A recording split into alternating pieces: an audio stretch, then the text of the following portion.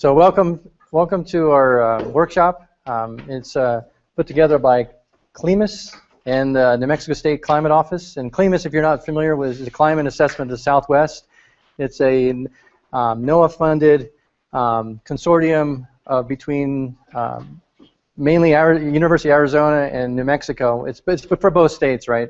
So, um, and we do a lot of different things, and, and this is kind of the one of the um, outreach is you know bringing the research out and let people know, not just put it into a paper, but let's discuss it and how can we change and improve things. Um, let me quit. To our uh workshop. I know. So.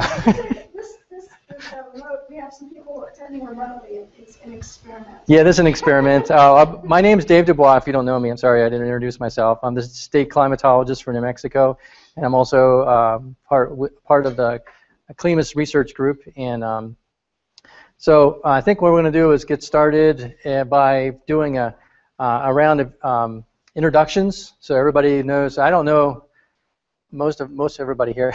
I think I know by your sign in, but not your face. So um, I, I, again, I'll start here, and then we'll just go around this way, maybe. I'm Dave Dubois.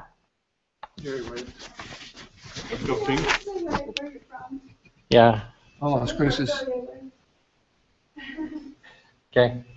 I'm Phil King, a professor in civil engineering here at NMSU and consultant to EBID. Hello, I'm Delbert Humberson, the GIS program manager, International Boundary Water Commission. Good morning, Michael Riley with Office of the State Engineer here in Las Cruces. No? Hide in the back. Uh, Les Owen with New Mexico Department of Agriculture. I'm John Longworth. I'm Chief of the Water Use and Conservation Bureau for the Office of the State Engineer. I'm Nabil Shafike, hydrologist with New Mexico Interstate Stream Commission. Good morning. I'm Rolf Schmidt-Petersen, and I'm the Rio Grande Basin Manager for the New Mexico Interstate Stream Commission. I'm Max Bleiweiss. I work at New Mexico State University doing satellite remote sensing.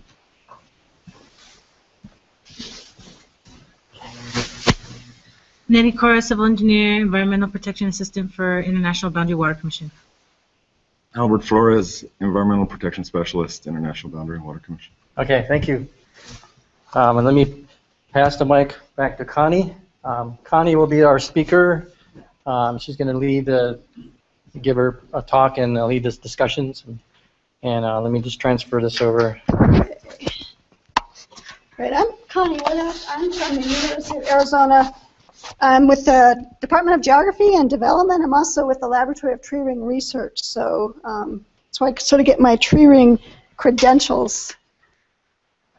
Um, let's see. So we did the introductions. New Mexico State is hosting us, and I'm really glad that Dave has been able to help us out. Um, climate assessment for the Southwest, there's a, a, little leaflet in your folder if you want more information on that. That actually is a program where we're hoping as scientists to connect with people who could use scientific information. So if you are thinking, you know, I really would, you know, it'd be great to hook up with some people about the weather, the climate, something like that, let me know or let Dave know because we're sort of a program that networks. Um, some of you might, might know Zach Guido. I don't know. He was over here, I think, last year um, doing some, talking to some people and doing some articles and, and doing some videos uh, for the Rio Grande area. So this is what we're going to do in, uh, in three hours. It'll be uh, sort of, a, some of you have been to work, these workshops, you know, they're, they're a little bit intensive, um, but they're informal. So, I mean, we have a small group. Um, I don't want to just stand up here and lecture. I do that to students, and it's frankly not that much fun. What's fun is getting uh, some interaction, getting some questions, um, hearing what you're thinking about, what, what you're not understanding, what you're getting, and, and, and want to you know, expound upon. So I'll start with a little bit of a background on these workshops. This is actually the fourth workshop we've had in New Mexico. I'll talk um, pretty briefly about the basics of tree ring research, and a couple of you have already heard this, so it'll be a little bit of a review, but basically how we go from tree rings to reconstructions of past flow, and some of the applications very briefly. Then I'll talk about, in particular, reconstructions of the Rio Grande Otowi. I'm going to focus on Otowi. I'll talk about the Rio Grande del Norte a little bit. And about lower Rio Grande monsoon precipitation, which is, uh, that's new work.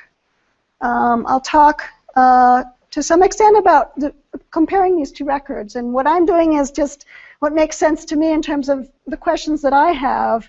How, these, how are these related? And you may have completely different questions. So what I'm showing you is only example of the kind of thing we can you do with this information. And really, I want to hear from you. It's like, well, that's you know, that's not the question we're asking. We're asking this question, and maybe we can look at the, the data in, in a way that makes it more informative to you. I'll talk. So, sorry to interrupt, but we're having technical difficulties. Oh, okay. It's not changing the slide. Oh, on the sc- on your Yeah. okay.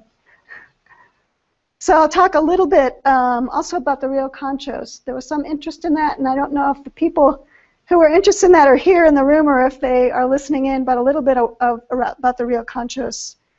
And then at the end, uh, have time for discussions, questions, comments, and of course throughout. So I don't know of the folks uh, out there in Google Land. You, you, give, give us one minute to see if it catches up. We're having a, a technical um, difficulty with the slide changing, so hang in there for a minute. There's a bit of a delay in terms of what's happening here and what's happening for the people that are watching remotely.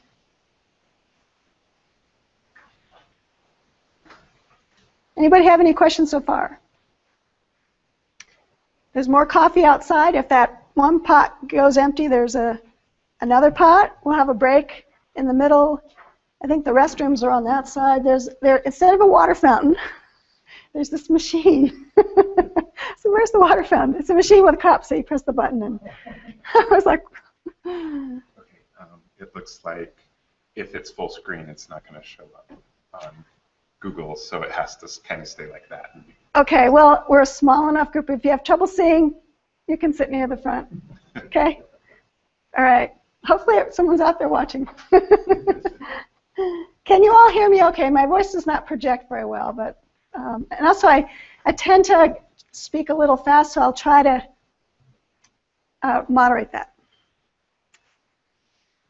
Okay, so the workshops we did a, we did a, a series of two workshops that were part of a project funded by NOAA separately, a little separately from CLIMAS. Uh, one back in November of 2007 and a follow-up to that workshop in May of 2008, and those were focusing on stream flow. Um, I think uh, Rolf and Nabil were at, at the first or second workshop, I can't remember, and I know that we presented the reconstruction of the Rio Grande at Del Norte, and you guys said, hey, it's the Otowi gauge that we care about. So we went back and we reconstructed the Otowi flows, and that was the, in the second workshop. And in that workshop, some people said, you know, what about the monsoon? Can you get us the monsoon from tree rings? And we said, well, you can notice from 2008 to the next workshop was four years, and that's because we had to submit a proposal for funding from the National Science Foundation, which we got. And uh, that supported work to reconstruct monsoon uh, precipitation reconstructions. And so that's what we presented uh, last a year ago, last May in Albuquerque, um, talking about uh, the Rio Grande flow and the monsoon precipitation for an area a little bit north of here. And then this workshop is focusing a little bit further south, um, again talking about Rio Grande flow, um, lower Rio Grande monsoon, so for an area a little bit further south, and then the Rio Conchos um, a bit, which is work I've done a little while ago, but I wasn't I wasn't clear who was interested in that. hmm Couple different definitions of lower Rio Grande, maybe Right, I know. I'll show you a map in just a second. I know. I realize that there's a lot of Middle Rio Grande, Lower Rio Grande. So the purpose is to provide you with this information and to learn from you how, you know, if this information is valuable in a different format or analyzed in a different way, I'd love to hear about that. So here's the map. Um, so the stream flow is focusing on the headwaters here. Um, the Otowi gauge, I think, is is it north of Santa Fe? Up there's north of Santa Fe. Yeah, and uh, and the Nor- Del Norte gauge is up here.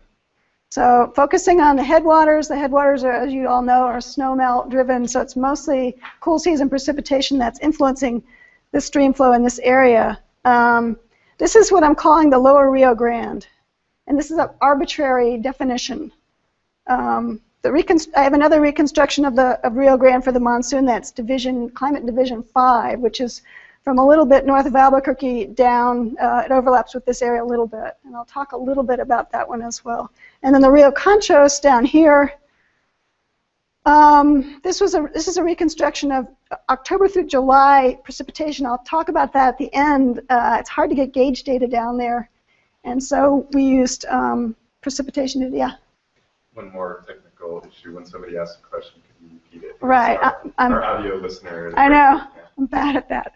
Just like you can poke me if I forget. so that's our our geographic area. So the first part, uh, again, is going to be this overview of how we use tree rings to reconstruct climate, how trees record climate, how reconstructions uh, of past climate and hydrology are developed, uncertainty in the reconstructions, and the kinds of information that we can get from the reconstructions. So how do tree rings record climate information?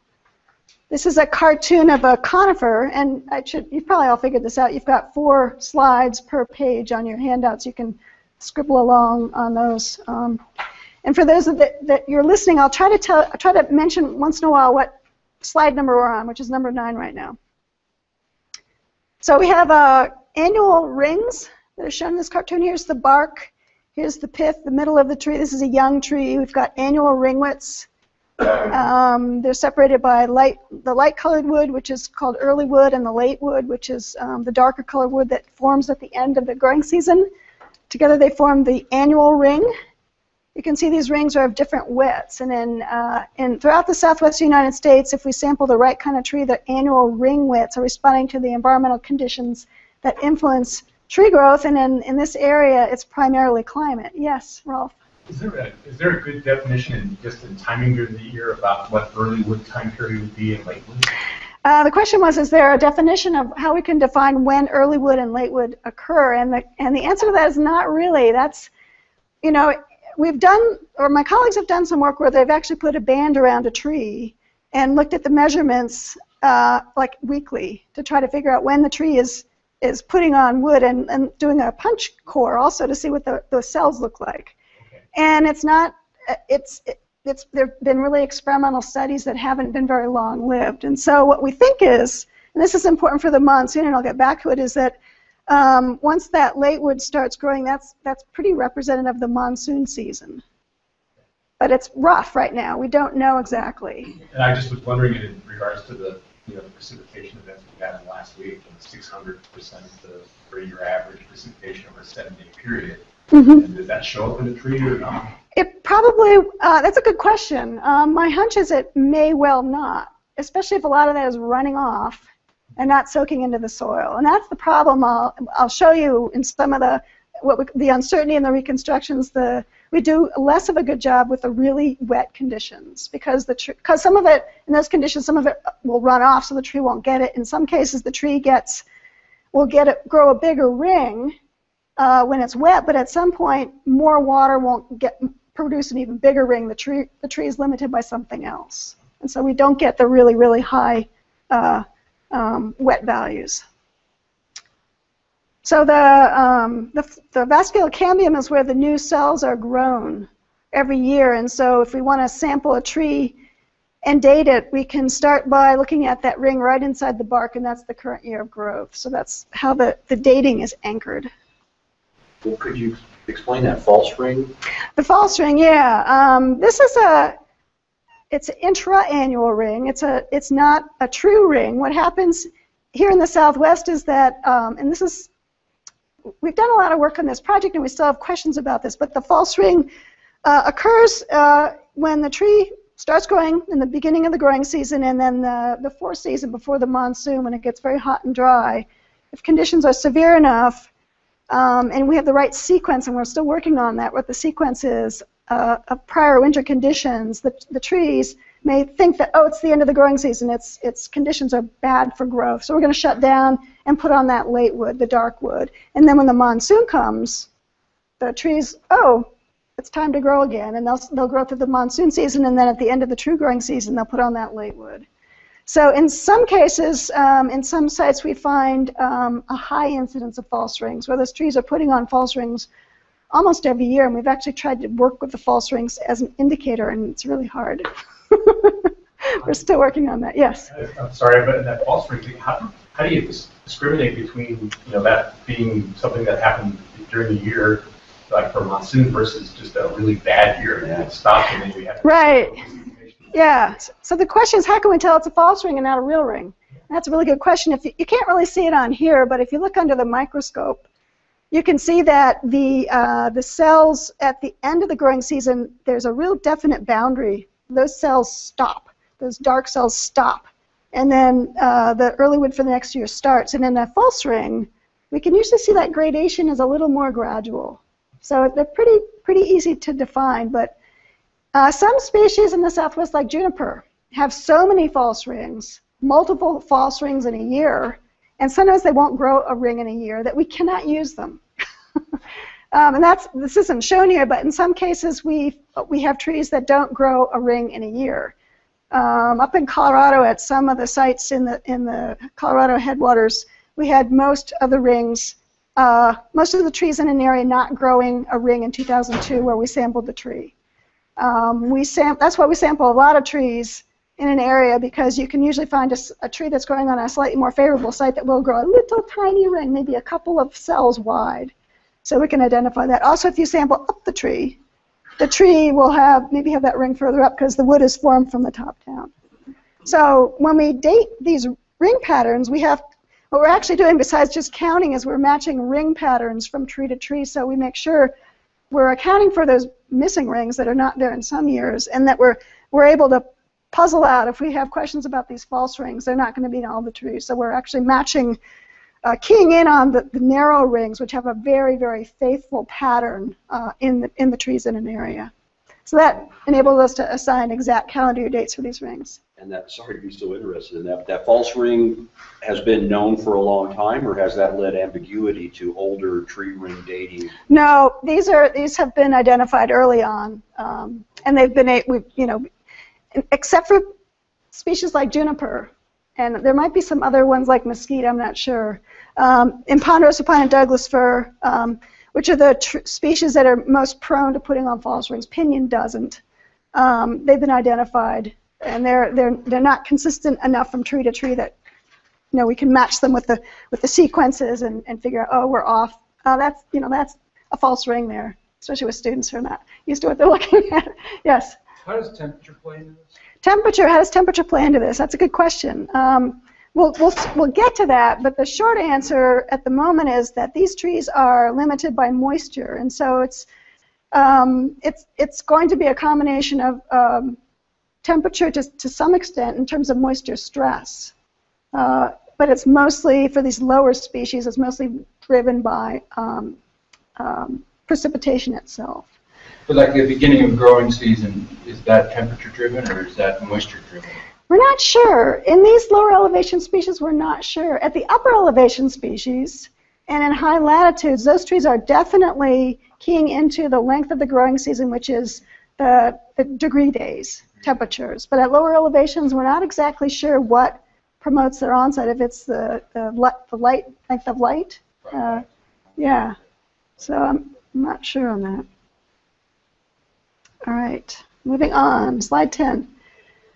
So what trees are the best recorders of precipitation and moisture? Um, when we're out in the field and we're looking for trees to sample, um, we usually go to sites that are um, don't have a lot of soil, that are that are southwest facing slopes that are getting really stressed by the environmental conditions. And this is typically the case um, in Colorado, New Mexico, and the, the sort of higher elevations, the mountainous areas. Sampling for the monsoon's been a little bit of a different experience where we're, we're sort of, some of the sites that we always went to are actually too, stress, too stressful for trees to give us good information down on the sky islands of Arizona and some of the areas around here. But rule of thumb is we're looking for trees that are stressed by moisture, they don't have a lot of soil, not trees that are growing with their roots in the ground groundwater. Like we're going to, oh, you're talking about reconstructions of stream flow. We're not collecting trees that have their their roots down by the water, and I'll get to that. Um, species we use are Douglas fir, pinyon pine, and ponderosa pine around here and throughout uh, the southwest. I'm sorry, I didn't hear what you first said. You said essentially looking at the southwest facing slopes. Yeah, slopes that are more that are getting more sun, that, that stressing the trees a bit more.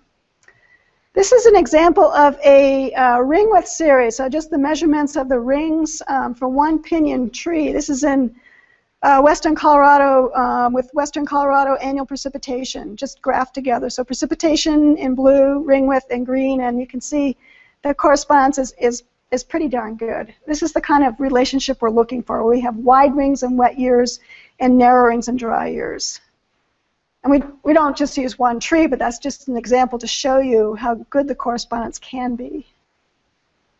So getting back to um, stream flow, uh, and the idea that we're not sampling trees that are growing right by the river. Um, how does that work? It turns out that um, the species that we're talking about in this area tend to be most interested in the moisture at the beginning of the growing season. When you're looking at the entire ring, um, that entire, if you correlate that ring with um, with climate, monthly climate data, the strongest correlations are with the cool season precipitation which seems counterintuitive. You think, well, the trees aren't growing in the winter. But it's snowing in the winter, it's raining in the winter, and all that moisture is going to be available in the soil when the tree starts to grow in the spring. And so that's the strongest relationship that we see. So that um, snowpack is really um, associated with annual ring widths because of this connection. So the ring widths and streamflow, if we're talking about water year streamflow in particular, so October through September, so we're getting that winter deposition uh, period, um, are both integrated by the effects of precipitation, particularly the winter precipitation and evapotranspiration as mediated by the soil. So when we look for trees that are going to reflect uh, variations in Rio Grande stream flow, we look at trees that are located in areas where the winter storms are um, in common with the basin. So it may not be the basin boundaries because the storms go outside of the basin. So it's not a direct, for the stream flow, it's not a direct relationship. It's an indirect relationship, but it's linked by this, this winter precipitation that both of them, uh, it, it's important, to, very important to both of them, to the water year stream flow amounts and to the annual ring width. Does that make sense? Okay, so that's all I'm going to say about sort of the climate um, tree growth relationships. We'll talk more about the monsoon and the interannual rings when I talk about the monsoon reconstruction. So how do we do these reconstructions? I'm going to walk you through from the fieldwork to the actual statistical model of the reconstruction. So when we go out in the field, we're looking for old trees because those will give us the longest records. We're looking for trees that are growing in sites that we think are being stressed by climate, so they give us climate information and trees that are not being affected by roads or by picnic grounds where people are hammering on the trees or trees that look like they've been struck by lightning or damaged in other ways. So we're trying to get trees that have the cleanest information about climate. Um, and, and, the species that we know about that are most uh, useful are the, again, the ponderosa pine, Douglas fir, and pinyon pine. Once we find a site that that has meets those conditions, we'll sample um, typically about 20 trees at a site um, we're finding for the monsoon work we need to sample more trees. And we need to sample maybe 30 or 40 trees to get uh, a good signal. We use an increment bore, which is a, a hollow shaft distill. They come in different lengths. The one I usually use is about 20 inches long. It's, it's a hollow shaft of steel. It's got a bit at the at the end. We crank it into a tree. We pull out the core, which is about a about a pencil diameter width. Um, we also, we haven't uh, done this so much in the Rio Grande area, but in the Colorado River Basin, we've made a lot of use of dead wood on the landscape. We could do that work here, we just haven't done it yet. Um, in areas where it's fairly dry, um, in the southwest, pieces of wood can stay on the landscape for hundreds and hundreds of years.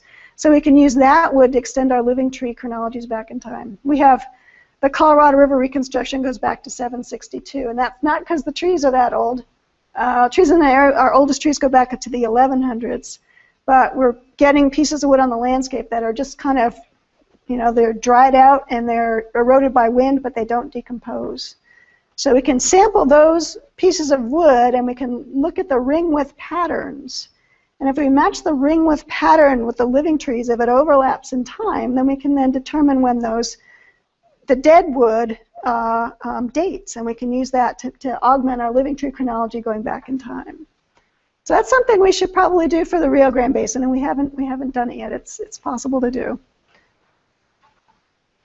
So I didn't understand that. You said your oldest tree was 17 something or other, and then you said something about 1100? Yeah, well, well, in the Colorado River Basin, our oldest living trees go back to the 1100s, but the actual reconstruction based on trees goes back to 700. So how, you know, how do we get back that far?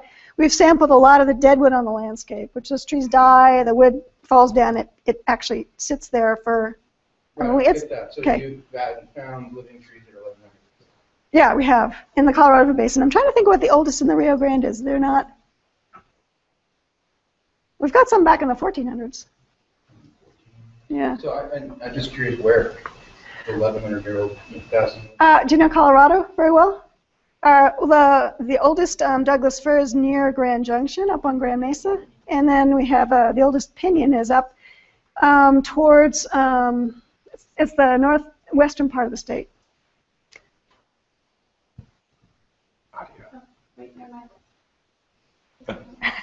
okay. Yeah, i if you're uh, wandering around looking for old trees, the old trees are not the biggest trees. We used to try to work with the Forest Service and ask them where you where your old trees were, and they would always send us to the biggest trees. And the biggest trees are usually the ones that are right near the stream, and they're getting lots of water, and so they have huge rings, and the rings are all about the same size. so yeah, the oldest trees. Uh, I don't know if you've ever seen a bristlecone pine tree. The really old ones are really gnarly and twisted, and they're not all that big. And the oldest, same thing with the oldest of these species. They tend to be kind of runty looking, kind of hanging in there. You know, maybe not much living greenery on them, but uh, um, So in other words, not good for logging. not good for logging. And also, related to that, they tend to be in places where it's hard to get to them. They may be on talus slopes or up, up in areas where they've not been burned, or where there's not a lot of other forest vegetation to carry insects. So they're hanging in there. They're not being uh, affected by other things that might disturb them. All right. So once we have collected all of our wood, we take it back to the lab. This is actually one of our collections from the Colorado. We have lots of these old pieces of wood. Um, we have uh, these are, this is what a core looks like once we sand them down and mount them into wooden core mounts. We um, we sand them down to really really high polish using progressively finer grits of sandpaper. So we're actually able to see the, the ring individual cells within the rings because as you can imagine some of these cells are really really small maybe only a couple of or the rings are small only a couple cells in width and so we want to make sure we see those rings especially in years like 2002 where they're they, they they're you know they can be that small so we mount them um, we, we date them uh, this, it's a little hard to see here but the, the, the three holes is 1900 the the single hole is 1910, 1920, 1930. You can pick out some of the sequences. Um, 1911 is a really small year. Um, 1930s, you're starting to see the sequence of the 1930s. 1950s, I mean, uh, this is Jeff Lukas who has did an awful lot of work with me, and he did most of the dating for the the uh, the Rio Grande work, and he had sequences of ring widths in his head. And I had them too, but not as not, I had them back, you know, the 20th century. You could say, oh, it's you know, it's um, you know, 2002, 1981, 1956, 1954, 1934, 1925, to 1902, you know, and then he would like go back into the 1400s. But these sequences are very, very robust, and so we're matching those sequences so that we're able to date these with, um, with, with precision.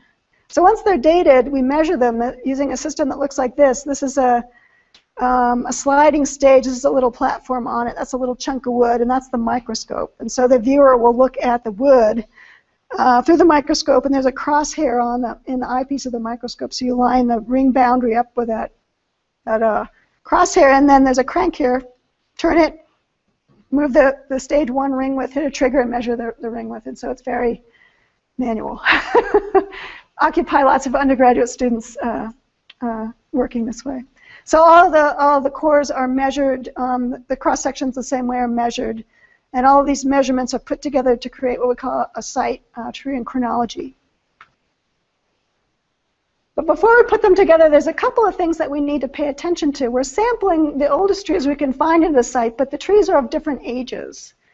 And so if you think about looking at a cross section, if you're, you know, if it's just a, a tree that's been growing um, you know, it's not been terribly stressed. Usually the rings in the middle are bigger than the rings on the outside, and that's just due to the fact that the tree has, you know, when the tree has a smaller geometry, it, it can put on a bigger ring using the same amount of resources as it puts on when it's a bigger tree. And so there's a geometric effect. Um, for tree age, and you can see it, these are ring widths over time, so you can see the big rings in the younger part of the tree, and then they get smaller as they go out. And if you have different uh, trees have different ages in one collection, and you're going to average them together. If you average them together without paying attention to the fact that this is due to the geometry of the tree, not the climate, you get an average of ring widths that looks like this, and you get these bumps that are due to the geometry or the age of the tree and not the climate. So we detrend all of these series first to remove that growth trend. And uh, once we do that, we have a series that doesn't have the effects of tree age mixed up into it. I had a Yes. question from one of the Oh. off-site, and the question was, what are the measures taken after the core is taken to prevent any damage to the tree? Oh, okay, that's a good question. So, okay, so the question is, what happens when, what happens, do, does it hurt the tree to take a core out of it? Which is a question we get often, and this has been uh, actually a question of, of, of, of quite some discussion in the tree ring community. Um, I sort of make, it's sort of, for me, it's an analogy, you get a shot in your arm and you bleed a little bit, and that's kind of what happens with a tree. Um, if, you, if you're coring particularly a, a coniferous tree, an evergreen tree, there's a lot of sap, the tree will, will quickly try to heal that wound, and so the sap will come in and fill that hole. We've seen that taking cores, coming back, walking back a few minutes later and seeing the sap coming out of the tree. Um, there's been discussion about well, whether we should plug that hole with some wax or something, or plug it. And there's uh, there's the tree ring, uh, a branch of tree ring studies that has to do with disease and fungus, and the consensus on that side said no, don't put foreign objects into the tree. The tree can heal perfectly well on its own. So um, that's that's the answer on that one. I feel I feel a little bad. Sometimes some of the really old bristlecone pines that uh, don't even have any bark anymore have been sampled by generations of dendrochronologists, and you can still, if you go up to some of these bristlecone pine sites in Colorado and California, you can still see the holes in the tree from the generations. but yeah, those trees seem to be impervious. That's a good question. All right, so this is just showing you that we're taking, these are, this is from a site in Colorado, but we do the same thing everywhere else. Um, we have, we sampled 15 trees, two cores per tree, which is, I forgot to add, we usually sample two cores per tree. These are all the, the, this, the uh, detrended measurements, and we're going to average all those together to create the site chronology. And the reason that, again, that we're averaging so many together is that we're, each tree will have its own sort of thing going on in its site, its sort of microsite conditions. And we're not interested in those microsite conditions. We're, we're interested in sort of the, the regional what's going on, which is the climate signal. So if we get a number of these and we average them together, we'll screen out the, the, the tree-specific information and, and preserve the common information, which is the climate information. So that's why we sample so many trees, and that's why when we sample for the monsoon, we need to get even more because we're just sampling a smaller portion of that ring. Do uh, question, any concerns if population differences? um, So like in fifteen sixty, was four trees? Right. Uh, so, so you're asking about the change in the in the sample, the numbers of trees that go into the chronology over time. That's a good question too, because at a certain point, if we're basing our reconstruction on these long chronologies that at the very end maybe only have a few trees, there's a question about whether that's how reliable that is. We actually do a statistic where we're, we're estimating the common signal in a group of samples here, and we come up with, well, to get a, a robust uh, common signal, we use a rule of thumb of 0.85. We need, you can tell, we need, in this case, no, I'm just guessing here, probably six or eight trees. And that's why when we sample for the monsoon, that number goes up. We need to have more trees for a reliable reconstruction. And we'll actually cut the reconstruction off. If we're, you know, we can actually develop the reconstruction, but we're just not as confident about that end where we don't have very many trees. We don't have enough to meet our subsample uh, threshold. Okay. So this is just a map that shows the tree ring chronologies that have been contributed to the International Tree Data Bank, um, which is hosted by NOAA in Boulder. And it's from all different um, uh, researchers that have contributed their data. These are just this, the species codes, which don't mean a whole lot, I know, different species for trees that are sensitive to moisture and that are greater than 200 years in length. So there's been a lot of, a lot of collections. There's a lot of data available. One of the problems we're having uh, with many of these collections is that this is collections from, from when researchers started making these collections, which was, you know, even in the 1930s. So in some cases, these chronologies haven't been updated for a couple of decades. Um, and that's when our, with our monsoon project, we went back and updated a lot of these chronologies in that process. But nobody wants to fund updating tree chronologies. It's, not, it's just not very interesting. However, I have to say that Denver Water um, up in Colorado did fund us to update a set of chron- excuse me, a set of chronologies for like three years because they wanted to see if the trees actually got 2002, which is so devastatingly dry. They were like, okay, let's see if the trees replicated the severity of that year, and the trees did. So they're like, okay, we're on board. It's actually a uh, species. This is a no. what we what we what we do is we take the first two letters, which is the first. This is like um, Ponderosa pi, Pinus ponderosa. so no, they don't have their own species. They probably would like to have their own species.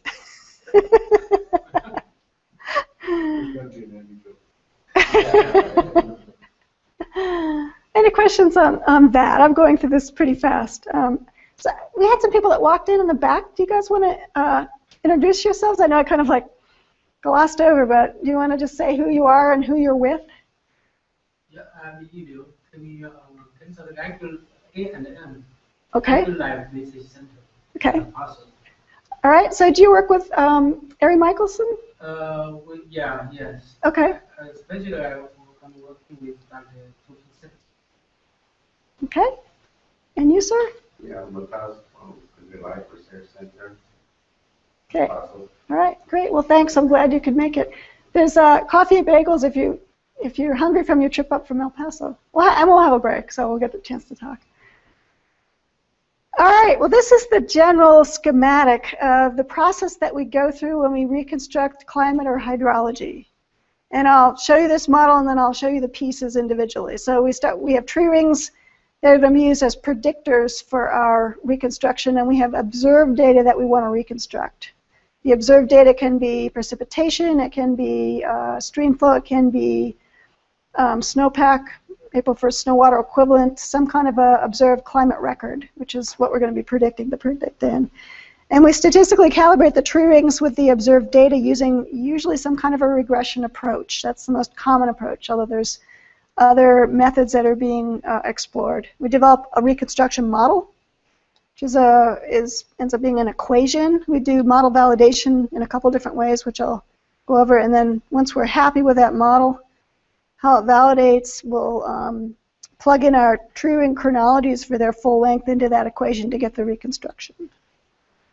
So let's take that apart. Requirements for the observed climate or hydrology records. We're doing a calibration, and uh, the most robust, calibration is going to be on a fairly long overlap period between the tree ring chronologies and the climate or hydrology data. Generally, you know, 40 years is kind of a threshold. I mean, if we really have nothing else to work with, we've gone to 30 years, but this, the shorter the period of overlap, the less robust our, our uh, model calibration is going to be. Quality of the instrumental data. We used to naively think that the tree ring, if, if our model was not that great, it was because the tree rings were failing to get the climate or hydrology, but we've started to see more and more that there's problems with the climate data and the hydrology data. Um, and I, am sure Dave knows this as a state climatologist, the climate stations move, the instruments change, um, so that the, even if you have a long record, it may not be that reliable because there's been changes in the, in, that are not due to just the climate in the record. Um, hydrology is even more challenging at times. We have some good uh, natural flows high in the watershed, and that's why we like to use the Colorado uh, Del Norte gauge for Rio Grande because there's only one reservoir above that, and uh, and even the state of Colorado has done some adjustments for those values. The Otowi gauge was a lot more challenging to do because we had some estimates from the NRCS, and we also did some of our own. I've been working in the Klamath recently, and man, what a mess over there. They the Bureau did estimated natural flows from a very complicated model. There's a lot of surface marshy land and uh, a lot of complicated groundwater over there in the Klamath, and nobody likes the estimated natural flows. so we're like, well, what do we use? So that's a challenge. Um, in terms of the climate data, we're now using uh, gr- gridded climate data more than station data, which is sort of does the hard work of integrating the climate data that's available um, in the in the best way, screening for station moves, screening for elevation, um, and so the climate data that I'm using have been based on uh, climate data from the Prism group. Yes. This might be a little off, uh, the, with regards to the work you're doing here, but thinking about the gridded climate data, is that the same gridded climate data that people are using uh, to do downscaling with these global circulation models? Making sure consistency in that? Uh, that gridded data, gridded, he's asking if the gridded data um, that I'm talking about is the same, is related to the downscaling gridded data. It's not, um, that's model, model data that's being generated by the process of the modeling process. Now, those folks are oftentimes validating their model based on the gridded climate data, and they're usually looking at patterns of climate. You know, um, and, and, and and that and those patterns of observed climate data oftentimes now are coming from these gridded climate data products. The main one right now that we use is a is called Prism, and I can't remember what. Do you remember what?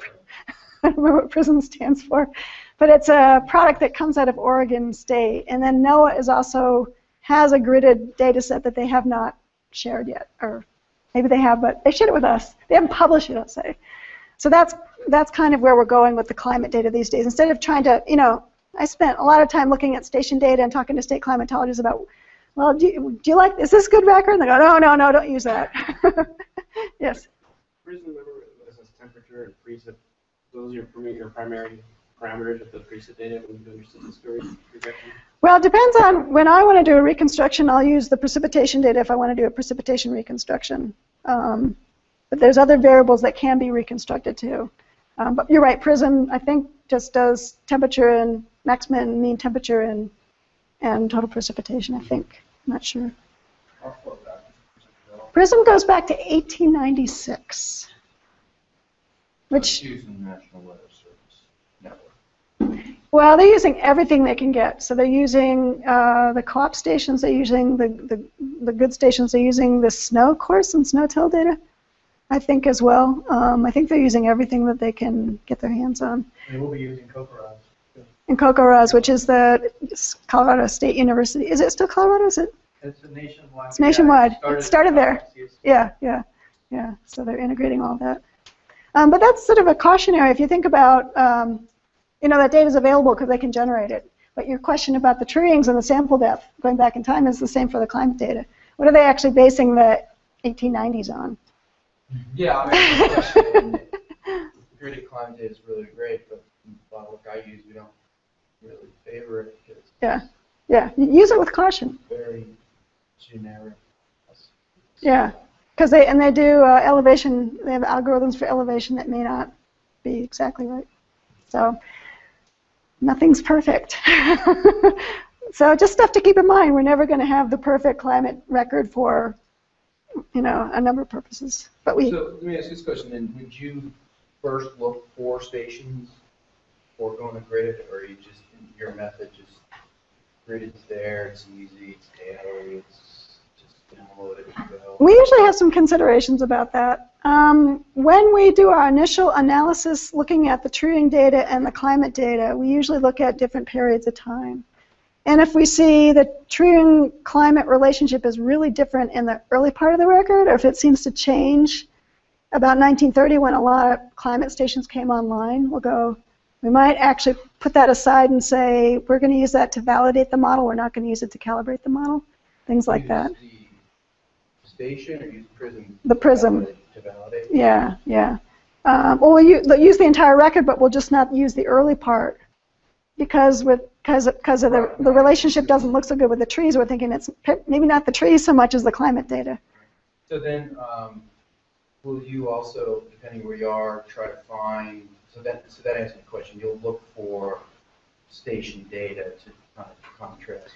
Yeah, and a, a lot of times I've been working in an area long enough to know what's available, and you go, well, I know, you know, in this area, there's a couple of really nice long records. I think there's one at, it's, it's called Fort, what is it? There's a, there's a fort that was here for a while. Yeah, and then the university's a longer record too, so, um, no, it was, one that just closed, is the one that, is that one? no, there's a, do you know the long record in By uh, Silver City? Fort Bayard? Fort Bayard, yeah. Yeah, that's a really long record, They and just closed it. uh, they did?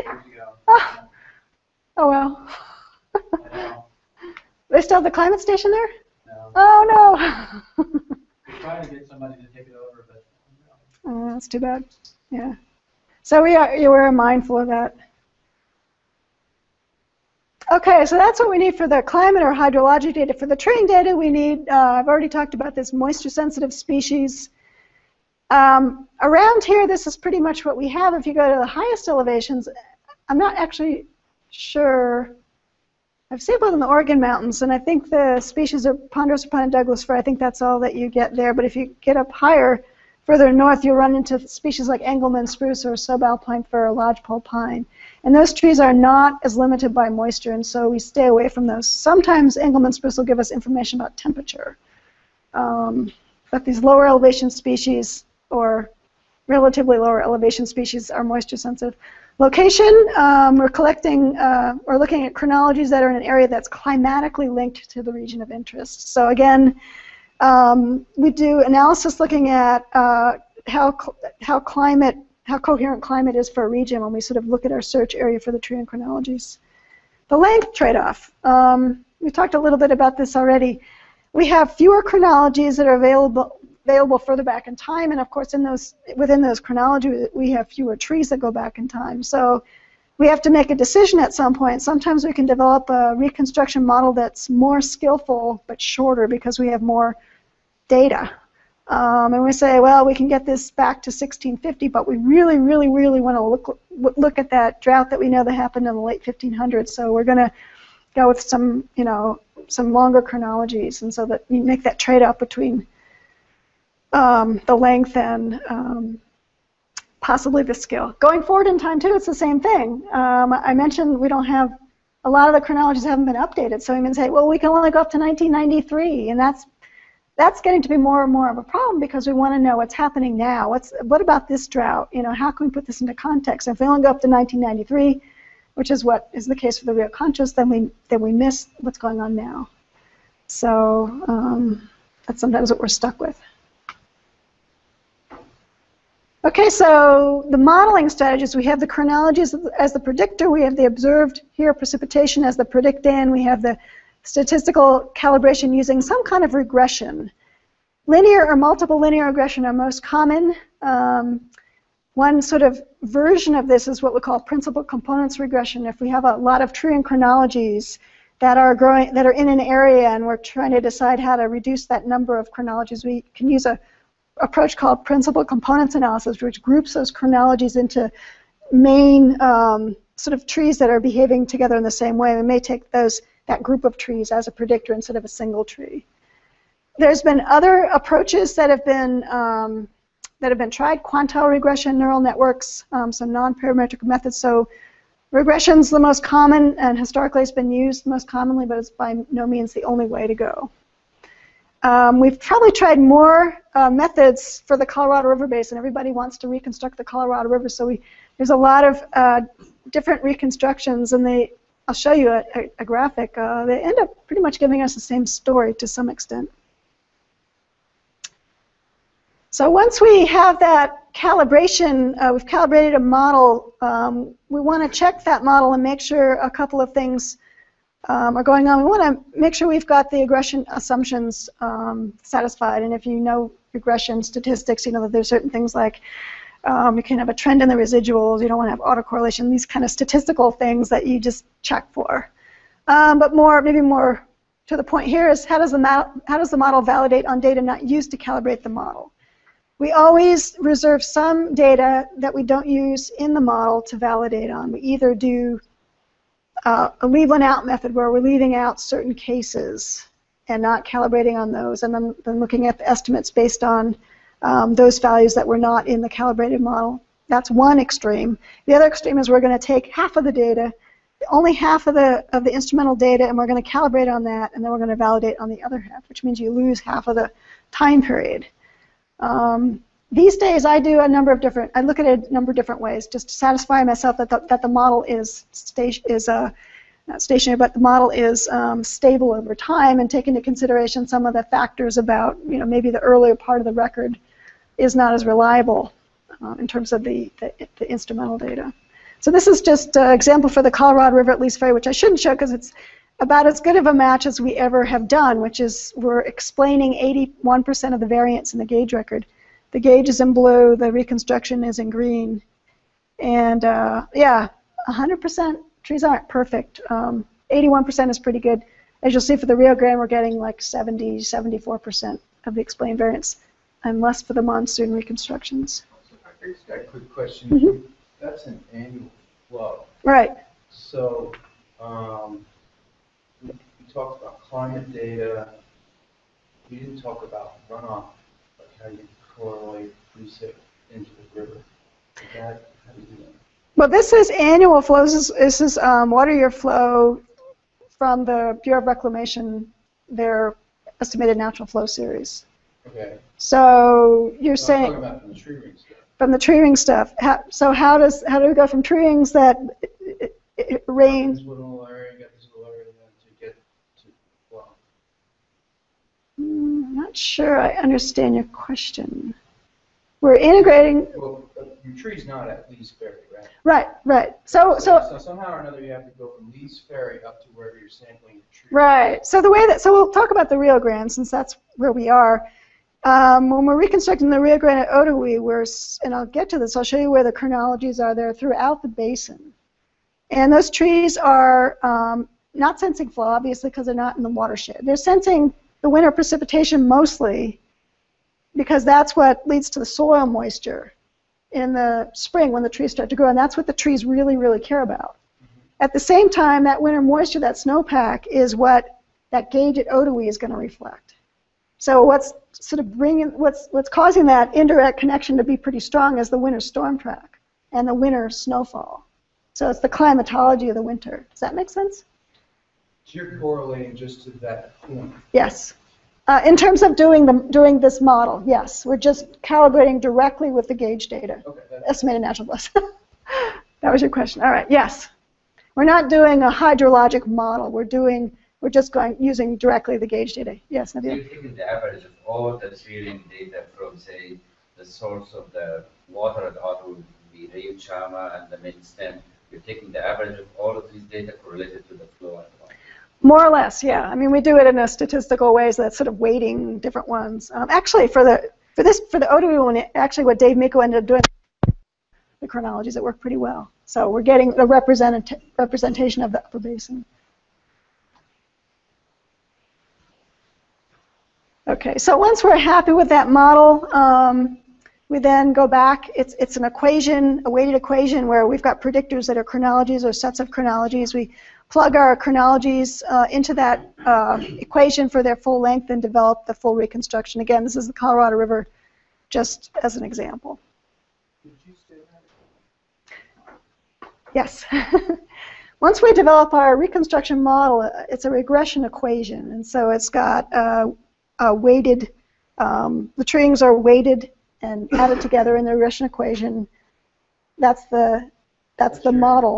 Then we take the longer, the chronologies for the full length, and we replace them with the chronologies that are just for the instrumental period, and develop that equation for, so we have a value for every year, going back in time. Yes. Yes. Are you smoothing?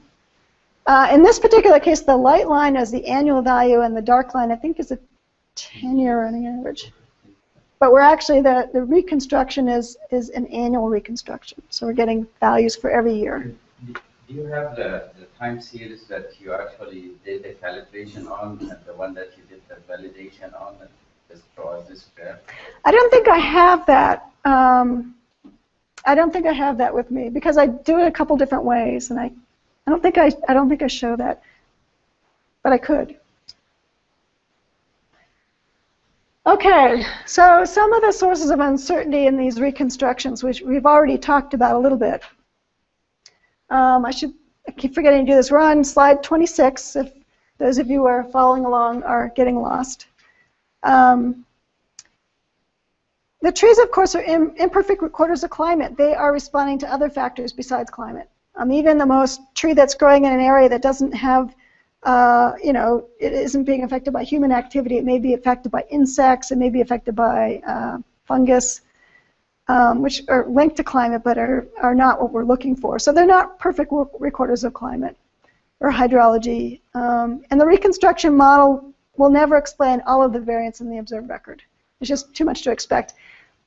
Um, I've seen reconstructions done by non-tree-ring people who, you know, if you if you hammer out a model long enough, you can actually yank up the um, the explained variance if you're not trying to validate it, especially on independent data. So you can actually improve the model if you really, really try. But again, we're trying to get a model that's robust through time, so we don't want to overfit it. So we're not looking to get 100% of the variance explained. As I mentioned, the climate or hydrology data may contain errors. Um, so that's another source of uncertainty that's not related to the trees. And in the process that I've walked you through, I have mentioned some of the decisions we make, but some of them I haven't mentioned. In the detrending, uh, removing that growth trend, there are different ways to do that. Um, we can use different regression approaches. We can do uh, different sets of tree ring data, and these all could produce slightly different reconstructions. So the bottom line is that reconstruction is the best estimate of past climate or hydrology. It's not the truth. We're never going to know the truth of the past, but it's the best estimate. Uh, and in some cases, um, we've done, uh, you know, what they do for, for climate model, we've done ensembles of reconstructions to see if we change, you know, how we do things slightly, how different is the reconstruction. So we end up having a, an ensemble of reconstructions that we can then um, develop uncertainty bands around. Uh, so that gives us better information about the uncertainty, at least for some of these factors. So that's just something to keep in mind. I mean, I'm sure that you all realize that these aren't perfect, but this is, you know, truth, uh, sort of laying it out here. Um, these aren't perfect for a variety of reasons, but they still have useful information. Yes. What do you find is the most sensitive input? In terms of the creates the greatest? You know what's sometimes the most, well, the question was what, what uh, factor can have the most influence on making a re one reconstruction different from another? Um, one of the things that I sort of struggle with is the, is the, um, the year-to-year persistence or the autocorrelation from, from one year to the next. The trees have biological uh, persistence where one year's growth is related to the year before's growth, typically, because of the storage of um, food in the tree. Um, and one of the things that we do is, that I didn't mention, is we move that persistence, that biological persistence. Um, but sometimes the climate system, particularly stream flow, has persistence in it. And so, and that persistence actually, if you look at it in different periods of time, it, the, the, the value of the autocorrelation is different. And so it's hard to know what to do that. With, with the Rio Grande and with the Colorado, the, the, the flow values of these gauges are not autocorrelated. There's no persistence. And so we use the chronology that have the persistence re removed. In the Klamath, it's a whole other story. Anyway, I, I've just been working on that, so I don't want to dwell on that. But that, that's sometimes the hardest, and that actually can have some difference in, in the reconstruction. If you're looking at the low flows and the persistence of low flows, they can be accentuated by the way you treat that persistence in the trees. For the Colorado River reconstruction uh, paper that we did in 2006, we did four different models. And for one of them, we used the chronologies that had the biological persistence, and we saw an overemphasis of these low flows. You could see that when you looked at the instrumental period for comparison. So I would have to say, in my experience, that's probably the one that can be the that can have the biggest difference. All right. So here's an example of the Colorado River. These are all fairly old reconstructions. I mean, the most recent one is 2007, but we've got Stockton Jacoby's reconstruction from the 1970s. Um, Michelson's was 1990. Hidalgo et al was 2000. Can't remember. This is 2006. This is 2007. You can see they all go up and down together. They're all quite similar in the calibration period, and they all are slightly different. Um, mostly it's in these low flows, and this is Hidalgo's, which is, seems to, we tried to backtrack and figure out what, what those guys did to get that, and we couldn't quite figure it out. But these differences, the calibration data uh, in many cases was different. The selection of tree ring data, um, these three papers used most of the same data. These two papers used different tree ring data. The treatment of the data was different, and the calibration methods were different. So we did actually, uh, in this 2006 paper, um, we did try to tease out some of the, try to attribute some of the differences um, with the, some of the statistical methods that we used. Okay, one more thing, and then I think we're going to take a break. Um, I don't. Some of you have been thinking about trees and water resources management. Some of you haven't, and I've worked um, with a lot of water managers in Colorado more than in the Rio Grande, so I'm not as familiar with the kind of decisions that you're thinking about, or the challenges that you have. Um, but these are just some general ways that reconstructions have been used um, in the context of resource management. Um, at the very top, we have these longer records, and they're useful for addressing uh, the climate, the given climate or gauge records over a longer time frame. Um, they're a way to evaluate recent drought events. Uh, especially in the early 2000s, there were some questions in Colorado, was this climate change? You know, 2002, 2003, 2004, wow, this is bad. Is this, is this climate change? And uh, looking at the tree ring record, um, it's obvious that that there have been droughts worse in the past. That doesn't answer it whether it's climate change or not, but it does say that, well, you know, it, it could be natural variability because we have seen this kind of thing in the past. Um, the reconstructions also provide information for understanding the, the, the range of drought characteristics are, that are possible, the duration, uh, the intensity that has occurred.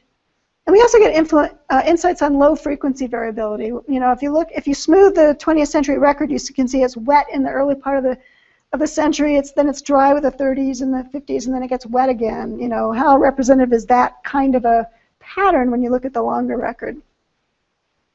And then also looking at the rich sequence of, of wet and dry years. Um, I know in Colorado, uh, understanding those sequences, the, the you know some sequences of years where you just had average or below average years. You didn't have any wet years to refill those reservoirs. And just knowing that even though we didn't have devastating droughts at that period, we just didn't have very many wet years was kind of a, I think, interesting for, for the, the reclamation people to look at going, wow, you know, that you don't have to have a major drought to have problems. You could have a long string of just not very wet years in a big system like the Colorado River to, to have an impact.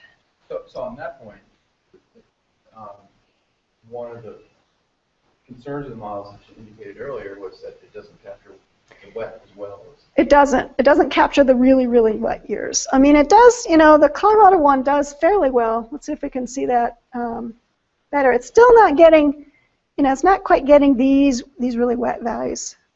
It's getting the lower values much better. Um, so that is a concern to the, to the extent that those really, really wet years are really, really important. We're not, we aren't getting them as well. Another quick question then. Colorado, pretty big system you have a much larger area sample, which has its own challenges. Mhm. In smaller basins, um, you, would you anticipate it being more difficult to get a reconstruction like that? You know, you know what, 81 percent? I think- Versus, you know, like how, how, how, how do how do you feel that plays out? So the question is, um, is it more difficult to reconstruct uh, stream flow for a smaller basin than a big basin like the Colorado River? A lot of it has to do with the nature of the gauge record. In a lot of the smaller basins, you have the flashier flows, and those are harder for the trees to get. Um, we do a pretty good, pretty good job with the Rio Grande, which I'll show you. We did, I think, as the one of the other workshops we did for up in Albuquerque, there was someone who wanted the Canadian River reconstructed, which we did we did do, but we didn't, uh, you know, it, it, had some very high flows that we were just not able to get. I mean, really high flows. Some of the lower basin tributaries, the Gila and the Salt River, have some of those flashier flows that we're not able to get as well. Um, so that's probably the biggest challenge with the smaller basins is the nature of the flow. Yeah, yeah. Let's see. So. Um, I'll just say a few things about the resources that are available. This is for Um, right now, this is for the streamflow reconstructions, and your uh, the, the actually the page that has the agenda on it has the URL for this. This is something that Jeff Lukas and I started to put together when we started working with um, water resource managers in Colorado, and they helped us develop this website, which is basically an archive of reconstructions of streamflow for for most of the rivers that researchers have done this kind of work. We're in collaboration with a lot of folks trying to get them to submit their data. So we have um, uh, basic information like I just went through. We've got reconstructions and the gauge data as well, so you can actually download the data, download the gauge data that we used for the, the model. We've got all the workshop presentations. We've done, besides four in New Mexico, we've probably done another dozen uh, in other places. So there are all of those, there's information on all of those on the website. We have applications, examples, actual um, concrete examples how Denver Water is using the reconstructions, um, how the Bureau of Reclamation is using the reconstructions, and a couple others in there. We've got, um, and some references as well. So for the um, Rio Grande, we've got a page that, for the whole basin, um, which talks about uh, sort of the background on the reconstructions, and then it has all this other information um, those are the reconstructions that we have right now. We did these for um, the uh, San Luis, um, no, the Rio Grande Water Conservation District in Colorado. And then we did the Otowi ones after we had the workshop in uh, Albuquerque in 2008. And then Santa Fe reconstructions are from uh, Ellis Margolis, who was working with the city of Santa Fe. Um, so those are all, there's a web page for each of those, and there's the, the data as well. And there's also the references that are available. We're going through a little bit of a transition on this website. and I'm not, I'm not sure exactly where we're heading, but I'm hoping that we can actually uh, enlarge it so we get the monsoon reconstructions also, other water-related reconstructions on this page. Right now we have a separate web page for the monsoon stuff. Okay, so I'm gonna, let's take a break now. It's a quarter after 10. Um, get up, stretch, shake, get some coffee. If you have questions, um, those of you who are out there in Google land, uh, we'll probably take maybe 10 minutes or so, and then we'll, we'll be back. All right, let's uh, reconvene for part two. Now, let's see, there was a question from the Google crowd that wanted, what, what was the question? The question was about um, the Rio Conchos?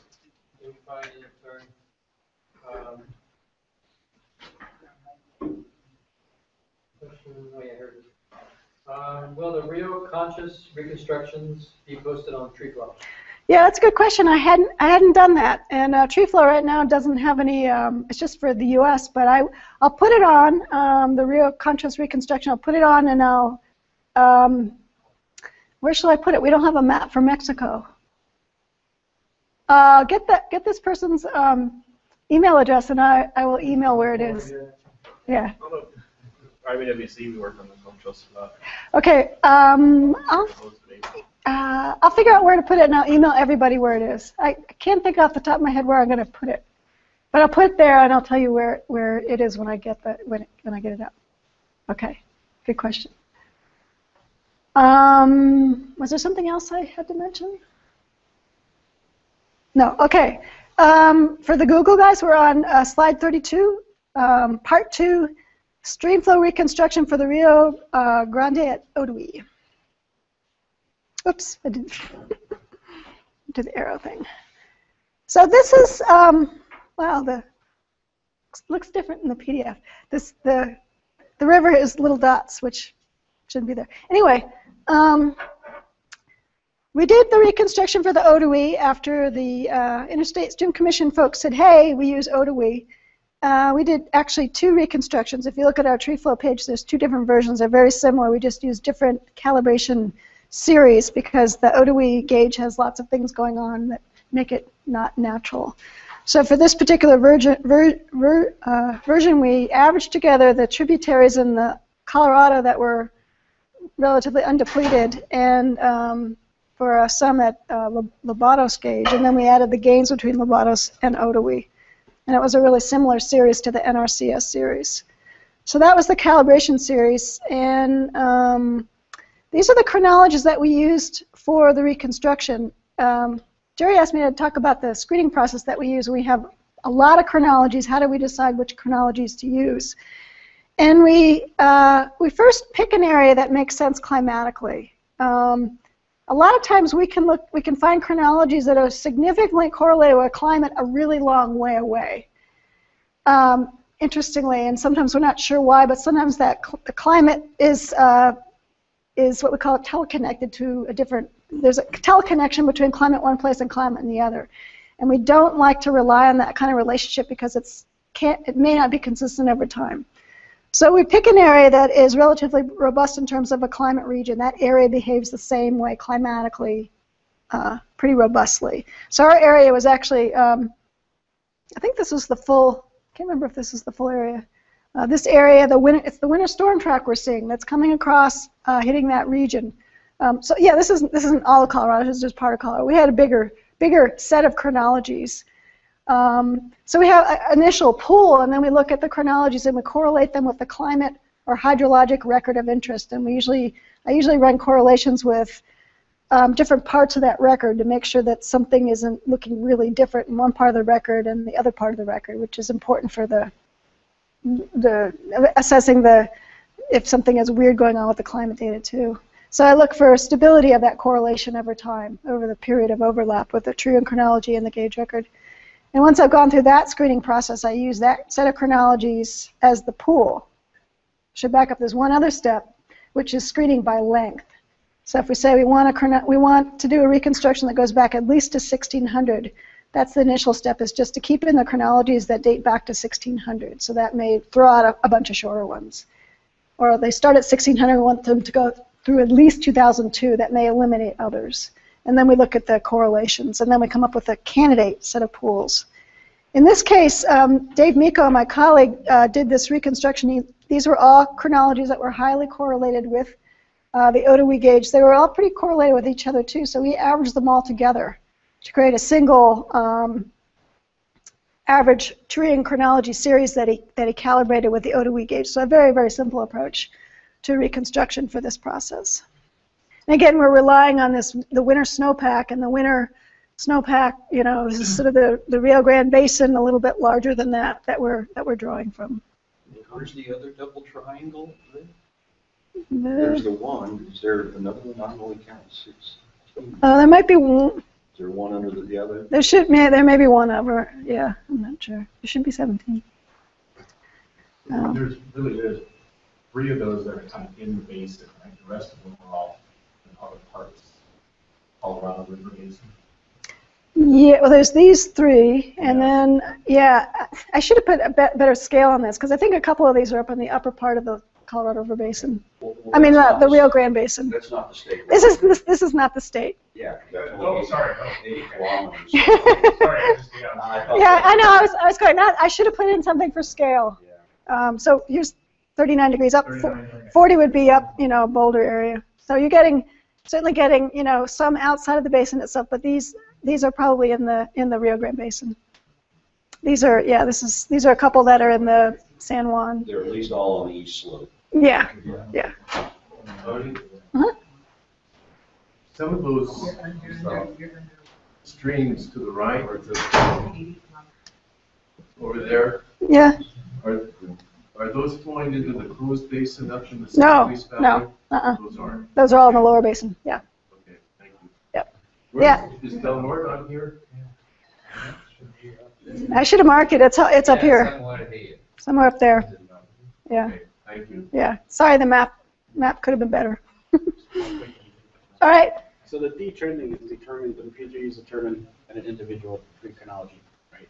It's on an individual tree basis. So we detrend the, the actual measurements from the single tree first. So that's all individually determined, but once it's detrended, then you average. Yes. Yeah. Yeah. Other questions? Well, I, I guess I keep seeing those cross-section photos. Does that mean that that was the demise of the tree, or how do you? No, the cross sections are only from dead trees. Questions? Yeah, so you use uh, 17 um, tree data in Rio Grande Basin. They're not all in the basin. The- I, I should have drawn the basin itself. I think the basin is probably, I don't know if that one's in the basin or not.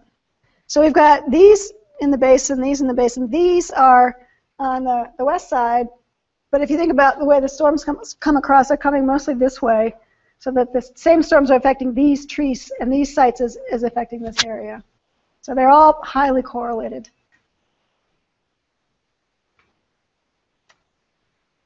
Oops. So this is what the reconstruction uh, looks like with the observed data. Um, the Otowi gauge, uh, the natural flows, estimated natural flows go, go from 1958 to 2002. I'm sure they go beyond 2002 now. Um, the reconstruction is in blue, the observed in gray. And we're explaining 74% of the variance here, so that's a, a good model, though we're, you see, you know, we're, we're not getting some of these higher flows. We're missing a few of the lower ones too.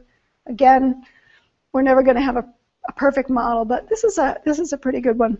I'm just put this down here to remind me to tell you that I, I will be talking about the Rio Grande Del Norte reconstruction as well. That gauge record goes back to 1890, um, so it's a much longer period for calibration. Uh, Do you have any idea why you would be missing like 63 and 64 and then 72 and 73? Mm-mm. I mean, we could go back and look at these. Uh, sometimes it's the timing of the of the precipitation. Sometimes it's the way that it came down um, that contributes to the flow. Maybe it was a Sorry. maybe it was a big summer that we didn't get. Yes. The, uh, the gauge record goes back to the late 1800s, well, 1890s also. Does it? Yeah. I didn't get that from you guys. Yeah. Send it to me and we can recalibrate. Okay. Right. Yeah. Well, the Otowi, but is it is it a um, the gauge record? But is it does it have irrigation ins, depletions? Sure. I mean, well, from the safety Right. Know, but it, have you fixed it for that? It's not, well, it's just the actual observed record. So that's the problem. Is I'm not sure if we calibrate on that and it has a lot of the effects of irrigation. If it would. Yeah, but autoelectric supply also doesn't have the, doesn't isolate the effect of irrigation, it's just a reservoir stored. And before nineteen thirty something, there was no reservoir, so you have the natural, similar. Okay. If you guys think. Just to send it to you and talk to me about it. Yeah. Yeah. We could look at it for sure. I, I wondered about two thousand two, it should be two hundred something, and if you have it very high, then, then it should. This. Like your reconstruction actually looks much better than the actual. Yeah. So isn't it nat- isn't that natural flows? You- These are, these are estimated natural flows, yeah. So they're the estimates that, um, th- these aren't the ones that you gave us, but they should be really similar. So I think that value was a bit higher than it seemed like it should be. Yeah, it should be two hundred twenty, two hundred fifty, Wait. that's the automatic supply. Maybe if I remember this one correctly, when it was, we were talking with Dave about it before, the assumption was in this that Colorado wasn't converting for agriculture and it carried through kind of on a one-to-one basis through the valley Oh, to get down. Huh. okay. You have, I, I do have a question about that, because when, you know, I've looked at the website, looked at these things, and I thought the natural flow was corrected, to take out the Colorado depletions associated with agriculture. That's it? Well, that's what I thought, that's what I'm asking, that's a question I'm asking. Well, the- what- the- Because, I mean, they've got massive agriculture up sure, the, the, what we used for this estimate was all of the tributaries coming in. Co- State of Colorado has pretty good records for all the smaller tributaries. So we had the Del Norte gauge, and then we had for the main, and then we had below below Del Norte those tributaries that are coming in, actually flowing north, I think, and then the ones on the east side of the basin. They had gauges for all of those. So there are actually 10 gauges that we added together for the Lobatos value, and then we added the gains between Lobatos and uh, Otowi for this. But how did you account for depletions associated with agriculture in Colorado? We don't, we, we're looking at the Del Norte gauge for the main, and then like I was saying, we're adding in these tributaries that don't have, that are, that are pretty much natural flows. Right, right. There's one reservoir way up there, but it's pretty small. So, I mean, we can, if you, could- if you have a better record, or an updated record, I'm sure, you probably updated it, right? I mean, I just, Yeah, from 2002. So you're taking Del Norte and then just assuming that was hundred percent down to the state line? Right, yeah, because we're just looking at, we want the estimated natural flows. Yeah, yeah. So the trees aren't going to get the diversions and depletions, so we can't. I understand that, but the rivers, Okay. Another quick, more general question. Intuitively, I would think the models would tend to underpredict but I do see a lot of instances of overprediction. Is there a trend, or is it basically dependent? It's positive, negative bias? There's not, there's not, there's not really a bias. I mean, we, that's one of the things we look at when the regression models, we're, we're, look to see if there's a bias towards errors at the high side or the low side, and it tends to even out. Uh, it shows up in those, the, the highest ones. Do you do cumulative charts? I haven't, but we could. I'm just curious, just, I mean, that's a good way. Yeah, yeah, we could do that. I'm sure, yeah, I keep forgetting to say the questions. Sure that was not very uh, intelligible to those of you uh, listening in, but my apologies. So here's the, so there's the model. Um, like program to do this. There's the reconstruction, and I'm not showing you the, the annual values. I'm showing you uh, a 10-year moving average. So that each point here is the, that point there is 2000, um, because it's 2002 for the reconstruction, it's that year and the nine years before average. So it's a running average centered on the last year. And, uh, and that's the gauge record for comparison. So this goes back to 1450 and up to 2002. And I've looked at the record in, a, in, a, in different ways. And I don't know if these are the ways that are interesting or important to you, but just to throw these out there, this is a list of the five driest decades and the five wettest decades. So these are non, I did running running averages, but um, or running sums, but I've picked out the ones that aren't overlapping. So the, the driest is this 1576 to 1585 period here, which you can see. And this is a, uh, a drought that we see in many, many records throughout the Southwest and even in Mexico. Um, notable drought, a bunch of papers on these. Um, 1170s, we see that a lot of places, 11 uh, or 16, uh, 1770s, 1780s, 1620s, uh, 1870s, and then the turn of this turn of the century drought was a pretty significant drought in a lot of areas throughout the Southwest. Um, the 1950s decade comes in as number six in this uh, ranking of the driest decades. So it's up there, but it's not quite in the top five. The wettest, though, on the other hand, we've got two uh, decades within the 20th century that are in the top five wettest. We've got this one here, 1912 to 1921, and this one, 1978 to 1987. So that's pretty notable. Um, and we see this in the Colorado River as well. The Colorado River, if you actually correlate the gauge records together, they're much more highly correlated than I ever would have imagined. I don't know if you guys have looked at that, but I was really surprised that the that it really they're really quite similar. I mean, it's, maybe it's these major periods of drought and wetness that seem to correspond. But aren't you using Colorado data create this model? For the Rio Grande? Yeah, I mean, most of your Well, the, the, the reconstruction of the Colorado River is based on different data, for the most part. So when you're saying, forget the tree ring stuff, you're saying that we should be able to correlate natural flow of the Rio Grande and natural flow of Lees Ferry? Well, I've looked at the two records and they're Sorry, stream flow. stream flow, period, yeah. Yeah, the gauge records are more highly correlated than I would have guessed. Yeah. So I was going to do a comparison of them, and they're actually not that different. Such a, so much bigger basin. I know. Carries all the way up. Yeah, yeah, yeah.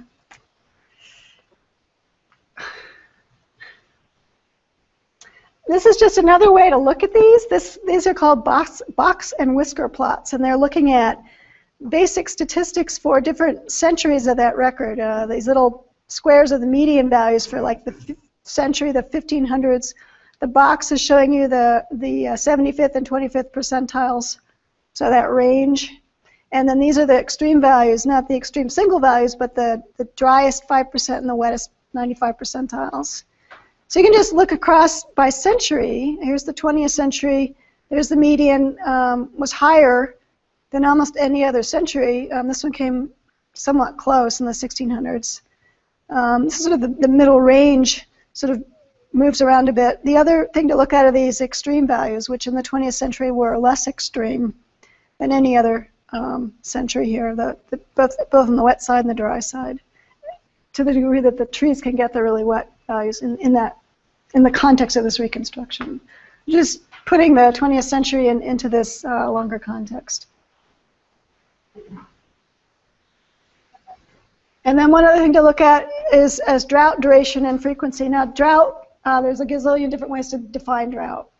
And I'm sure that you have your definition for drought, your thresholds for drought. So the only, what I'm using here is a really simple threshold of, of the median. So I'm looking at single years and consecutive years below the median for that same reconstruction. This is for the entire reconstruction, which goes back to 1450, and then here's just the 20th century part up to 2002. And you can see that here's single year, two years in a row, three years in a row, four years in a row in that 20th century record. And then if we look at the longer record, we start to see these, these longer persistent periods, which is, you're going to see more extremes the longer record you have. That's just, you know, long, extreme events don't happen very often, so you have a longer series, they, they start to pop out. So in this case, we have a, an eight years in a row, 11 years in a row event in this, uh, in this record. Now, I'll mention this now and I'll mention again. This kind of analysis is really sensitive to your threshold. You know, you're looking at a median value, this 11-year period, I haven't analyzed it, but I'm sure there's a few years in there that are not very far from the median. Um, there's also some probably shorter periods that are only separated by one year that's not very far from the median. So it's, it's really threshold uh, dependent, but it does give you an idea of, of, of, you know, the 20th century in the context of the longer record. Ah. Okay. Maybe gives us a little more confidence for next year.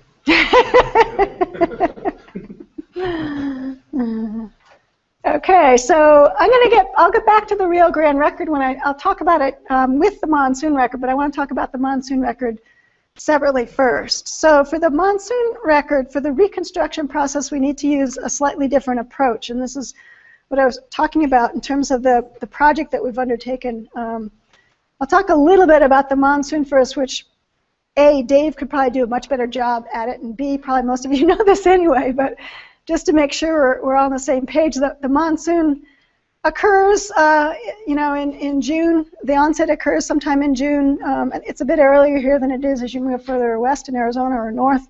Um, this high pressure at 500 millibars, so that, that surface of the atmosphere that's halfway between the, the, the, the surface of the Earth and the upper atmosphere, a high pressure Bermuda high strengthens and moves in this way between June and July. And that switches, uh, causes the, um, the jet stream moves north, so we don't get jet stream type climate. Um, we get circulation around this way, around that high pressure, and it brings in Gulf of Mexico moisture and Gulf of California moisture more to Arizona. This is probably more Gulf of Mexico to, to New Mexico. You also get some evapotranspiration from the forests the Sierra Madres and some moisture from the southern plains. So moisture coming in with the, the shift in that, uh, the strengthening and positioning of that high pressure, the, the winds changing and the vection of that moisture. Now this is a, a graphic that um, was the outcome of a monsoon research project, the NAME project, which was uh, looked at um, instrumental climate uh, in the monsoon region. It, I think it was a five-year project. were you involved with that at all, Dave? No. Uh, ended a few years ago. One of the things that came out with was a monsoon uh, subregion domains where they, they've sort of indicated areas, generally speaking, that behave more similarly than other areas. And you're probably thinking, well, the monsoon is so variable. Does this actually make sense? We know that, you know, it was really wet in parts of northern New Mexico this year that weren't, it wasn't quite as wet down here. But in general, they, they seem to, on a, like a seasonal basis, they, they, they group together. And this, this result is based on a number of different kinds, uh, not kinds, but different research approaches. So it's not just they did one kind of analysis and came up with this, but there are a number of papers that looked at monsoon regions. This boundary seems to me to be very robust between it. It's not quite Arizona-New Mexico border, but it's close. So there's a little bit of New Mexico in this region too. Um, when we look at the tree ring data, I'll show you the network in a minute, but we look at the tree ring data and we do a spatial analysis on it, and there's a division there also. It's really quite robust. Um, in Arizona, uh, the monsoon seems to be more tied to ENSO and in New Mexico less so. And there's probably other things going on there too. I think we still don't know a lot about the monsoon, so there's questions about that. But this is again the monsoon region. I'm going to focus on within the larger monsoon region 3.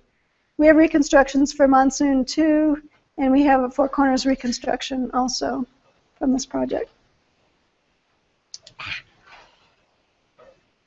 Okay. I just have to ask, you say it's to uh, ENSO, you you don't have to go back. You say it's tied to ENSO, are you saying it's it's cooler, it's drier, warmer, it's wetter, or? Um, in Arizona, uh, for the last 50 years, the instrumental data and some of the research that Chris Castro has done at University of Arizona has suggested a pretty strong link between ENSO uh, variability and both cool season and the warm season precipitation. So in Arizona, like here, when you have an El Nino winter, it's pretty wet. And his work was showing that when you have an El Nino winter, you tend to have uh, a dry summer influenced by El Nino. So it's an opposite relationship. And if you look at the climate data for Arizona going back until, into the 1960s, there is a pretty uh, strong inverse relationship between winter precipitation and summer precipitation. But if you look back before that, it falls apart. In fact, if you look at our reconstructions going back in time, the last half of the 20th century is fairly anomalous in that relationship. I haven't been able to see that link to the winter-summer link in the instrumental data here. I don't know if Dave has looked at it. But, uh, and, and so uh, Chris Castro said his ENSO work um, does not, did not extend to New Mexico, that he didn't find that relationship in New Mexico. So he, Uh, Dave, just brief. Was, ENSO, not the yeah, or there's no correlation. yeah, that's kind of, that's pretty much what I found, yeah. Is there, does, do people still have that, I know in Arizona it's a strong, I think that it's, it's maybe getting weaker, but people on the, kind of on the street, you'd say, well, yeah, we had a wet winter, so we're gonna have a dry summer. Do they talk, do they talk that way around here too, or is that? not- So there's nothing to talk about?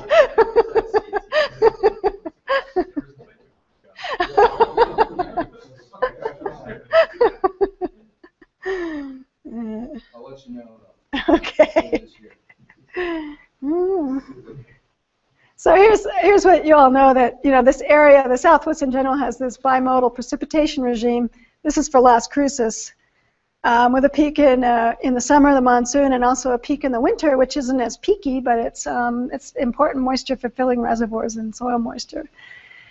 Now, when we look at the ring widths, these are just some blobs of uh, four years of ring widths. Um, and again, the early wood and the late wood, what we're finding is that the early wood uh, corresponds to the, uh, the cool season peak, and the late wood corresponds to the um, monsoon peak, which is work that uh, we didn't discover this work. They're actually that one of the earlier researchers in, in tree ring science uh, sort of put out this hypothesis in the 1930s or 40s, and there's been work uh, probably since over the last 15 or so years sort of looking at this, but our work is the first that's really developed a network of chronologies to see if we could actually do these reconstructions based on these um, sub-annual growth increments.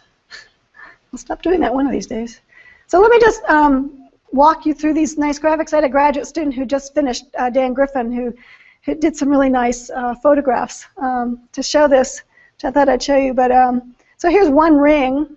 There's the early wood. It's lighter in color. It's less dense, and it looks light because the cell walls are thinner, um, and they're larger cells, so they come out looking lighter. The late wood is darker in color. It's more dense. The cells are smaller, and the thick, the walls are, are thicker, so it looks looks um, darker. This part of the ring conducts water and nutrients, and this part is more important for structure. And then here's a sequence where we're looking at the different parts of the ring. This part, the, a wider early wood uh, corresponds to a wetter winter, and a, a relatively narrow late wood is a dry summer. This one, narrow ring, uh, both parts are narrow, so dry conditions. These are both relatively wide, so wet winter and wet summer. And this one, uh, a dry winter and a wet summer. Um, typically, the the uh, the late wood is a smaller proportion of the earl of the ring, and so we end up getting a, a, a noisier time series. It, it's a little um, I don't know how to say this. It's a, there's more variability. There's we have to decide where, where to measure this exactly. It's not not always so clear. So these are these are it's a, no, a little bit of a noisier series to work with. Can I ask you, I mean, what's going on in the, in that summer? I mean, is that darker wood? Did you have a difference in, in width for dry versus wet? And, and so what's going on there? Is it just a difference in, in timing, of the time period of growth of these cells or between white, light and dark? That's a good question, and we, you know, in, in terms of trying to define what's going on between the early wood and the late wood and those widths.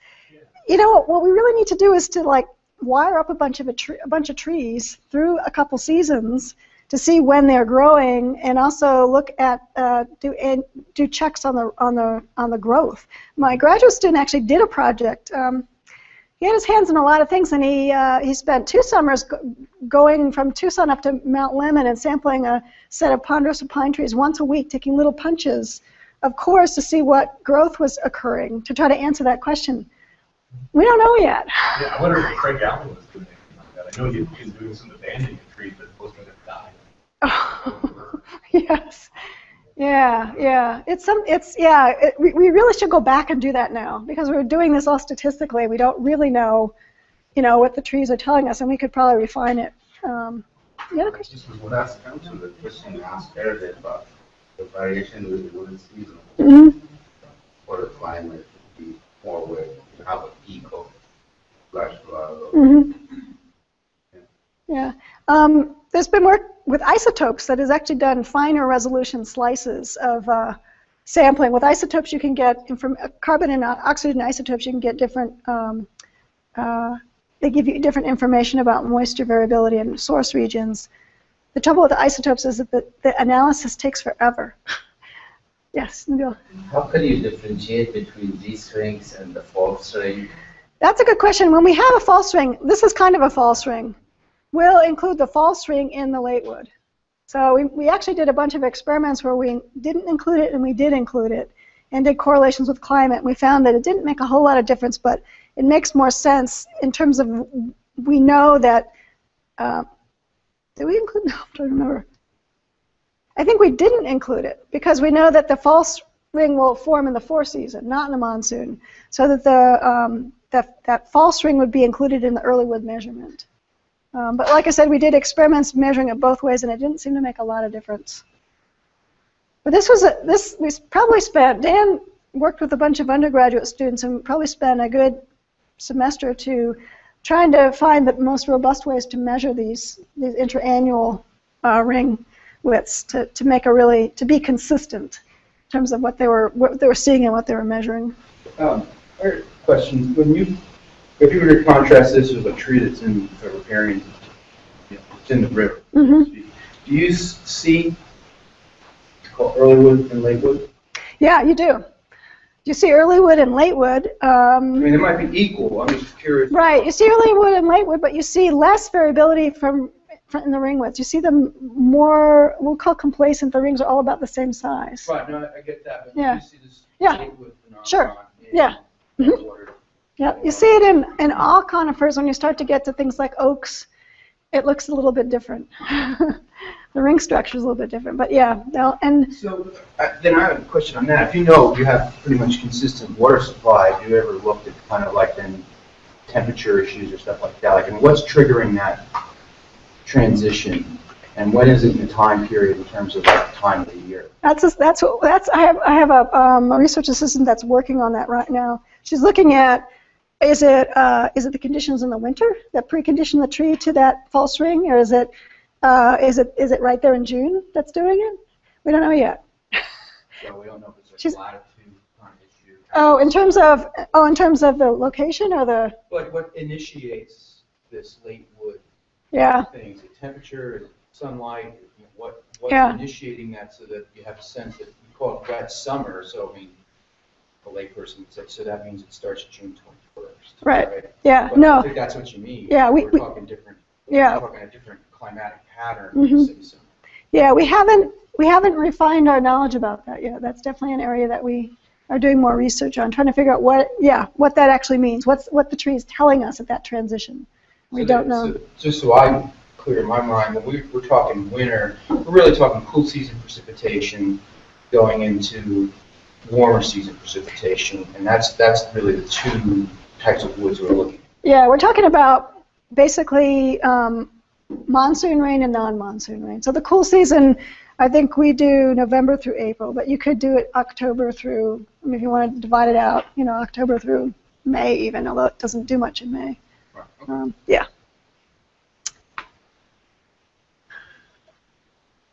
So these are just the correlations between, this is for a small study that was done for uh, southeastern Arizona, but it applies also to this area where we're correlating, um, the TW means the total ring width. So a series of total ring widths correlated with uh, climate for that area for October through April here, the cool season, and through July through August. And so for just, if we measure just the entire ring, this is the correlation we get. Correlation uh, 0 to 1 would be perfect. This is like 0.65, which is pretty strong. That's where the below which there's really no correlation. It's not significant. So for measuring that entire ring, we're seeing the cool season moisture. We're not seeing anything significant for the summer. If we measure just the early wood, so just this light part, we have a higher correlation with the cool season and, and even less significant correlation with the, with the summer precipitation. If we measure the, um, the late wood, so this part here, we do get a correlation with July, August, a pretty strong correlation, but we also get a correlation with the cool season, which means that, that the two parts of the rings aren't, aren't, aren't independent. And so we take another step where we remove the dependence of the early wood on the late wood statistically, and we end up with a quite a high correlation with July, August um, in this part of Arizona um, with that what we call adjusted Latewood, removing the dependence of the early wood on it. So this is what we're, we're doing um, for the monsoon. We're targeting that Latewood and we're removing the dependence of the early wood on it.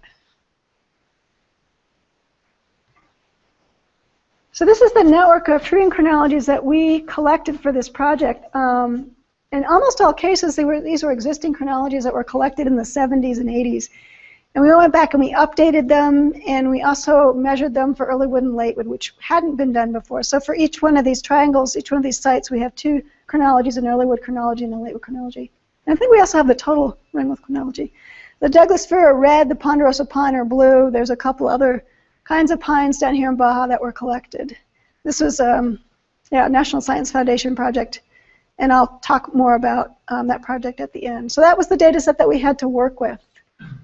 Um, do you know any do you know any details about the, the data set in the in the lower Rio Grande portion there? That looks like some of it's in maybe the Magdalena, San Mateo, Black Range. Yeah. Yep. I know. I, I, I collected most of these, oh, okay. so I know about most of them. I, we collected the, or I didn't collect, I didn't collect the Guadalupe ones. That was my graduate student, um, or these. He did these, but um, we went out and collected this whole set in a week.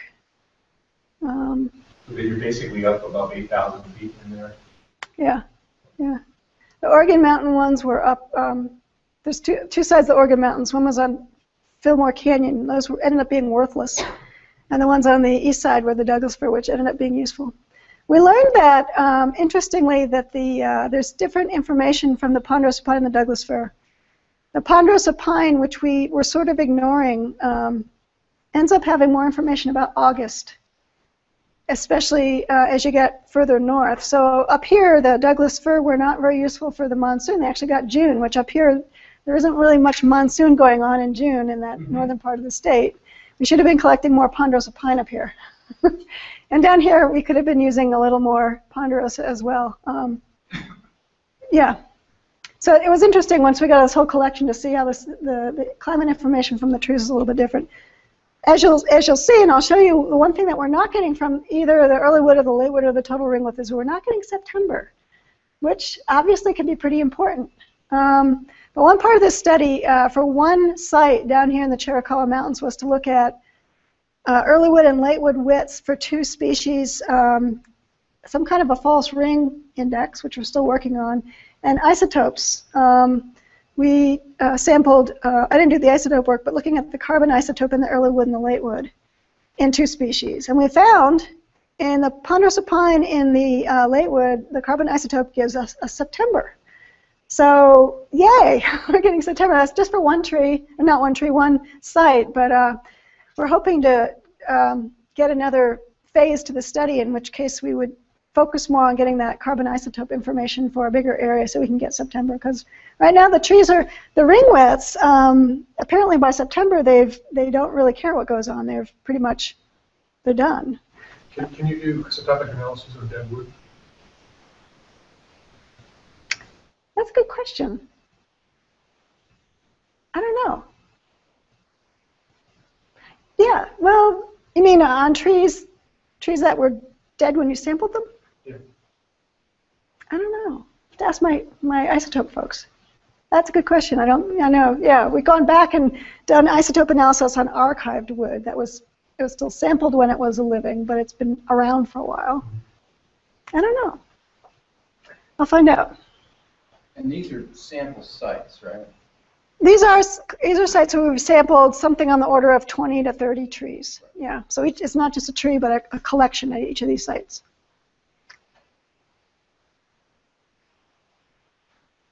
Okay, so here's just showing again that box, which I admittedly arbitrarily uh, um, located right there. I mean, it was centered on the Rio Grande. It was um, I was looking sort of at climate regions to some extent, climate data, what the trees were saying.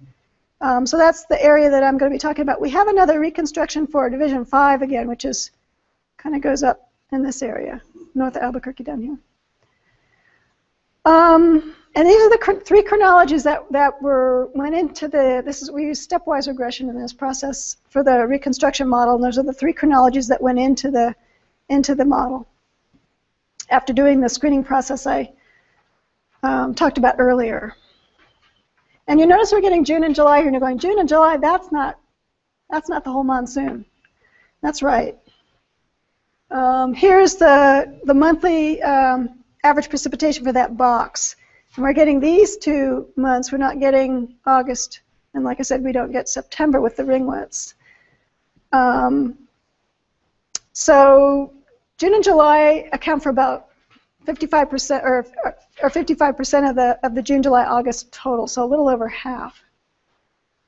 So we're getting the onset, uh, the the onset in the mid part of the precipitation season, not the entire season. However, um, this is June and July in blue, and June, July, August. This is the instrumental data plotted together. And you can see it goes up and down together. I mean, I'm sure you know you can have a June and July that are dry and August that's wet, and things can, you know, can definitely change over August. So June and July not, may not be representative all the time, but the correlation is fairly high, even if the amounts aren't. So I'm, what I'm saying is that the, if we look at the ups and downs in the record, that's probably the most reliable assessment of this reconstruction in terms of the monsoon. And I should say if we go a little bit further north, um, we get August because we start to bring in the, some of the trees, the ponderosa pine up in the uh, Taos area that, that get August. So here's the reconstruction model. Um, instrumental in the gray, the reconstruction in the blue, and you can see it doesn't quite look as tight as the, the Rio Grande uh, streamflow reconstruction. We're explaining 53% of the variance. So it's just not quite as skillful, and that's just the way it is. The monsoon is noisier. It's, you know, it's, we're, we're actually really surprised we could actually reconstruct the monsoon. People are saying, oh, you'll never be able to reconstruct it because it's so, it's so spatially variable, you know, you can't, that's not going to work. But um, we are able to do it. Um, we get a lot of the ups and downs. We don't get all of them, and we're not getting some of these very high values. And we've talked about that. So that's what the model looks like. And then that's the full reconstruction with a 10-year uh, moving average in the dark line. I think I ask one question in there? I was thinking, because you have that June, July time period, I wondered, Dave brothers, if they know. I mean, when we hear about the, the summer monsoon, a lot, a lot of times, it's that late June, July, and August time period. But the, what I always hear is, you know, if you you're starting a couple weeks early, um, you can you basically pretty reliably say that's going to carry through August. Mm-hmm. I wonder if that's true or not. Your experience. But, so if we're looking at this for the June and July time period, it should give us some confidence that August was likely wet. It's a predictor, you're saying, Okay. you know, that onset is, um, Is a good predictor for the entire summer monsoon. that's a good question. I don't know, I looked, just to see how much I've- I got the first couple months, Yeah. or a month and a half, or one, one month. Yeah, so the question is, is the, is the onset a good, onset or the early part of the monsoon a, a good predictor for the rest of the monsoon? And Um, in Arizona, there's, there has been talk about that. In fact, some, uh, I think it was Salt River Project said, can you reconstruct the onset of the monsoon? Could you, if we gave you an onset date, could you use that as a calibration series? Because that gives us a good idea of what the rest of the monsoon may look, look like. So, I'm just thinking that with regards to water management that we do with the upper and middle Rio Grande, yeah. we can make a big difference with regards to the overall operations for the year. Mm-hmm. Yeah. So there's a wiggly line. Um, again, the same uh, ki- kinds of analyses can be done. This is, um, yeah, this is a this is a shorter reconstruction. We're only getting back to um, 1659, which, you know, I was for me, sort of the, the late 1500s is, a, is really a remarkable period of time for the Western United States, and I sort of like to get back that far, but we didn't get back that far. It's, it's harder to find old trees in New Mexico because of the fire regime. You know, I did work in Colorado, and the fire regime is not the same, and it's pretty easy to find old old trees back to the. I mean, not it's not easy to find 1100 year trees, but it's easy to find trees back in the 1400s. It's very hard to find in Arizona, New Mexico, and it's. I was a little bit surprised, but it makes sense because of the fire regime. The fire regime is natural fire regime. You get frequent burning, um, and it also burns up the remnants. We didn't find a lot of remnants. I was really disappointed, but anyway, so it's shorter. So keep that in mind. A question, so when you're calibrating this, you, you calibrate it to Prism? No. Uh, oh yes. Excuse me. Yes, that was Prism data. That was Prism data for that box. Right. Yeah. And so, is it, are you averaging that whole box and Yes. number? You, you don't like to use, let's say, harvested wood, uh, was there vigas and stuff at Chaco Canyon and Yeah. no, areas that you could? There, there is a lot of archive wood. Um, there's some problem with using that in that we don't exactly know where it comes from. Um, but actually, at the Tree-Ring Lab in Tucson, there's a huge archaeological effort that's been going on for years, so there's quite a, a store of that wood. Um, there's another project, I should just as a side, there's a graduate student working on um, some collections in the Chaco Canyon area in the Chuska Mountains, and he is finding some really old remnants. So we're hoping to be able to do uh, reconstruction for that area of the monsoon, um, going back. I think he's getting back into the 1200s, so that would be pretty interesting to see. And that, that's from wood on the ground and not not the archived um, wood. So anyway, here's the the same kind of a analysis looking at the this is a 10-year moving average again, looking at the wettest and driest non-overlapping decades, and again a shorter period. So we're not getting the rankings are are not. Uh, I'll show them together, but they're think of them in the context of the of the shorter record. 1950s is also um, one of the driest decades in the in the monsoon, and it comes in as number two in this. And we have one period, 1912 to 1921, that comes in as the wettest. So we do have representations of, of in, in the 20th century on uh, on both those accounts. We don't see. We'll come back to this. We don't see the most recent drought uh, showing up in this ranking. So these two bumps here are actually come in at six and seven. So again, this record um, makes the 20th century look a little, you know, you smooth it this way, it looks a little wetter than it does drier. The 50s and the 30s being sort of combined in that averaging to some extent. And then the histograms of the drought um, duration and frequency using the median again as the threshold. Now there's a different message here. This is the 20th century up to 2008. There's the full period. We've got two runs of seven years in a row below the median, 1906 to 19, 1900 to 1906 and 2001 to 2007. Um, those are the only seven-year periods in the entire record. We have two six-year runs. But this period here was broken by 2000, or 2006 had a was a hundredth of an inch below the median, so it just barely made that a seven, a six-year, seven-year run. So again, this is really threshold dependent, but it gives you an idea to, you know, this may be 20th century maybe is a little 20th to 2008 is a little more representative of the, of the longer period than the uh, the um, the flow record. 2006 was below the median. That was in this area. 2000, yeah, just barely. No, was, Was, was very good. oh, you're talking June, July. June, July. Yeah, I mean, there's a lot of different ways to, yeah. You know, if it rained, if it was a wet August, that would have bumped this up, so. Actually, it was, it was bad, it was big in Tucson too, because I wasn't there, but there were big floods going through. Yeah. But it was in August. Yeah, yep, yep.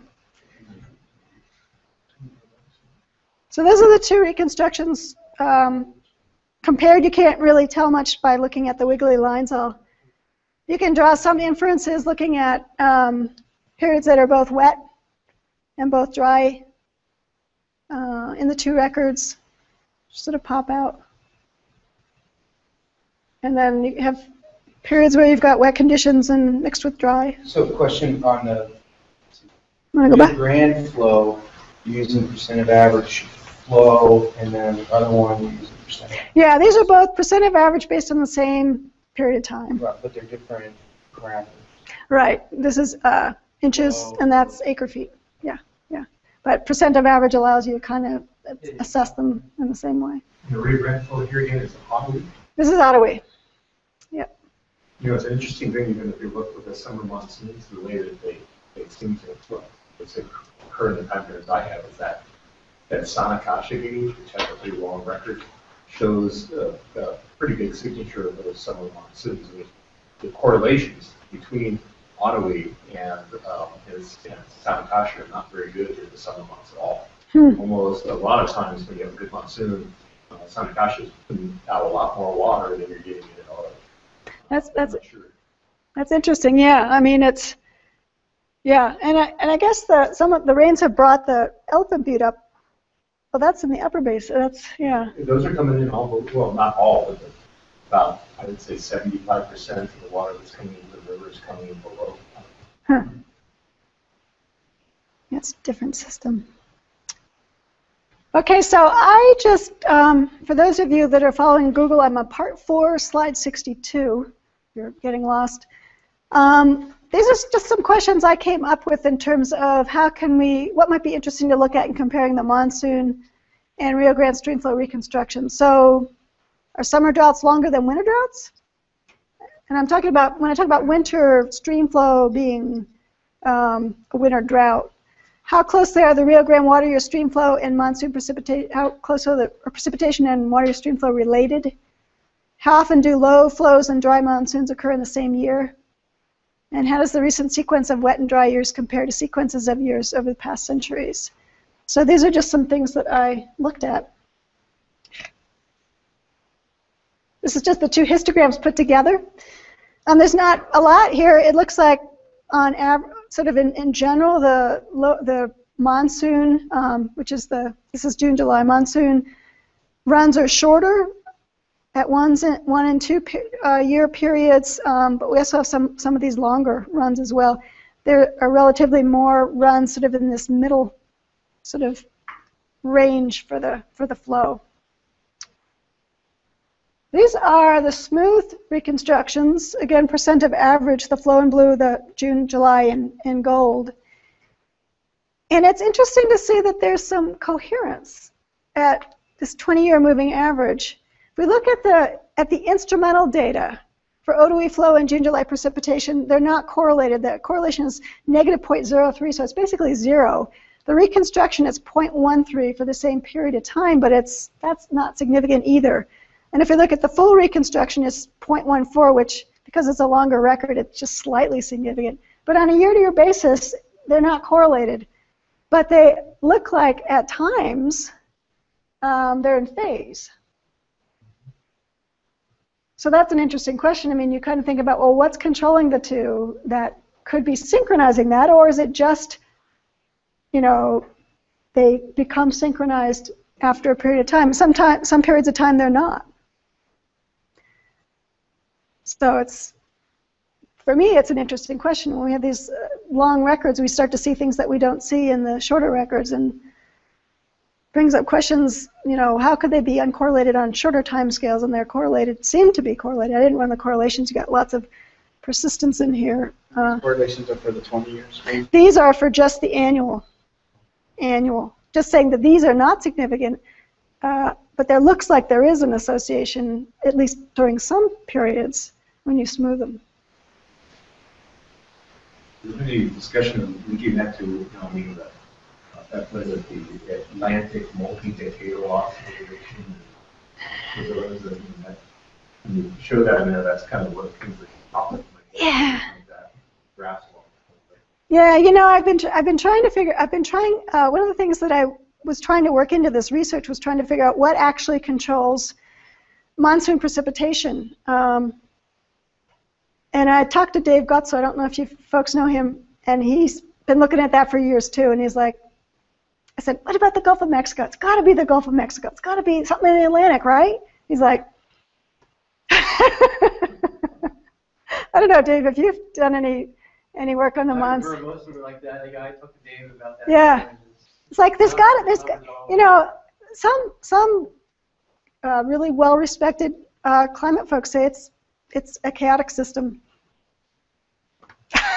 But is that I don't like that. a year-to-year basis, or is that for a decadal basis? 'Cause, I mean, there's, there's some people who believe that, you know, the PDO and AMO are very well, you know, what phases they are, because they're decadal, give you patterns like this. Right, yeah. They give you no, Yeah. they give you no help in any one Mhm, year. right. Or in any one ninety-day period. Mhm. But when you look at over, you know, you have one blowout there and then. say, Yeah. 1950, but- So, so when, when Gutzler and others say there's no correlation, I mean, I I would tend to agree from what I, everything I've heard. Mhm. But when you get into the decadal stuff, are, is that, are they saying that as well? Or are they just saying it from an annual in or short-term forecast kind of? I don't know if Dave has looked at the AMO. I know that I looked at it briefly and that switch points were not in the right place. Well, it's, it's not just the AMO, it's the, it's the combination AMO and PDO. It's those two in concert that seem to really correlate. Right. The, the AMO, though, the AMO will influence summer. Um, I think it probably influences the Bermuda High, and so that to me that is something that should influence the system. The PDO is more of a winter pattern.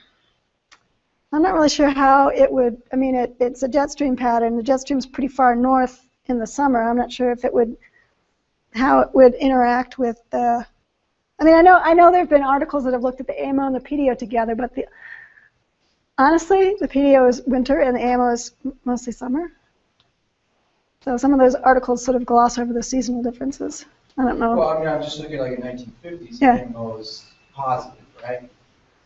Real positive, so it's the inverse of what you're, what you're seeing there. Mhm. And, I mean, I don't have to memorize back on, Yeah. just in recent times, you know, the inverse of that. Yeah, yeah. I mean, I, it seems, I, I'll keep looking at this stuff, but my first analysis of this was that it, it wasn't quite right. It wasn't, it didn't quite, you know, the fact of the matter is it's probably a combination of factors, and if you could kind of combine them all, you'd probably get an explanation for a bunch of this. But it's not consistent and in sync all the time, and so it's, at any given period, it's going to be a different set of conditions. So that's my hunch. Well, I, I guess I'm, I'm, th- th- this is really important. We hear a lot about the AMO, PDO thing, hear about the decade, pattern, uh, whatever. But for planning purposes, I know. right, I mean, if you have, if you have indicators like that, hmm clearly you know, I mean, that, that would be great. Right, The right. question I have about AMO is, is the little bit I've read about it is there seems to be debate amongst who do AMO, what AMO really is and how to measure it. I don't know if that's debated. I mean, AMO, the way the way it's measured is the what's going on in the north from the tropics north. It's basically the average condition of the North Atlantic. Now, how that links to climate in the rest of the world is the question. Particularly if you're talking about the western United States, how does something in the Atlantic get propagated backwards? It probably doesn't, but it may be influencing the jet stream, which then propagates it the other way. So there's a lot that we haven't figured out on that one. I mean, there does seem to be correspondence. Uh, how that's happening is the big question. So, yeah, I know, I, I agree. If, if something is, has some persistence in it, has some predictability in it, that would be great. Um, and I know there's, there's been some people that have talked about, you know, 10 years ago, I think Julio Betancourt was, hey, it's AMO, PDO, and you combine them and you get the answer. I'm like, mm, it's not that simple. it sounded good though. okay. So this, this, now this is the Rio Grande for Del Norte, and this is a graphic from one of the papers that I uh, have provided with you, but um, it just is showing, I think it's, the results are probably similar for the Rio Grande Otowi, but I'm just showing you the really dry periods in the Rio Grande headwaters and in this June-July precipitation record, and I'm only showing you the dry periods. And I'm only, I'm not showing you, these aren't single years, but these are five-year averages. So I've smoothed both of the time series with five-year running averages, and I'm just showing you the flows in the 30th lowest percentile and the, and the flows in the 15th percentile. So these are the really low flows, and these are the pretty low flows.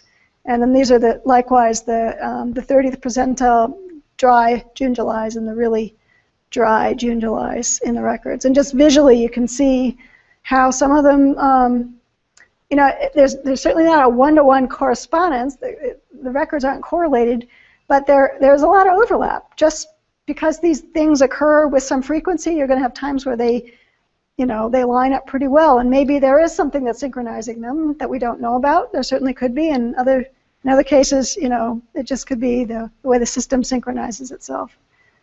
Um, so those are just the, the really dry periods. Right. Yes? Why sometimes you use five years, some other time 10 years, some other time 20 it's arbitrary for lack of any other. I mean, it's not completely arbitrary. I mean, I, I, um, you know, five. I think at one point I was looking at ENSO frequency, so I used five years. 20 years. Um, sometimes, yeah, it's it's pretty arbitrary. If if I had guidance from you as to what was important, I would I would use those intervals. Does it matter? Do you want to? Well, it matters to just be consistent. Yeah. Oh, okay. But some things you can't see when you smooth it that you can see. You know, some things show up better when you, some decadal things you want to see, and sometimes you want to see shorter periods too, though. I mean, does it make sense to look at everything in the same frequency? Might not, but I don't know. I try not just to. part of the explanation as to why they're different. Right. Yeah. I was just if I for for graphical display, if I looked at individual years, it would be a mess. And if I looked at 20 years, it would be. It, I I wanted to show a higher frequency, so So if you do if you do it in a 10 years, the picture would be not very good. it would be it would be a smooth version of this. You wouldn't get some of these some of the details. Yeah, Connie, I was thinking about another part of this was we ran headwaters and the monsoon precipitation.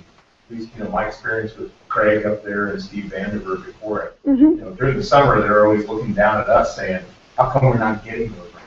Yeah. Because it's really infrequent that they, they get those large rains that result in real stream flow Right. during the summer. Yeah. And so in trying to figure out how that, I mean, I guess you got one with the Grande flows up there, you don't really have that summer signature, it's all the winter Mhm. portion of it, so that's a good of end number. Right. And then this other one down here is the end number below of the summer months too. Mhm. And you can kind of do that correlation of inputs to the Rio Grande Basin through the, from the uh, winter flows and the overlay of. All right. That was my thinking is that you have the surface water supplies, and then you have the local water, which is the summer water, and you know balancing those things. I did the same work for um, for the Phoenix River, the Salt River project, and they actually um, care much less about the monsoon there.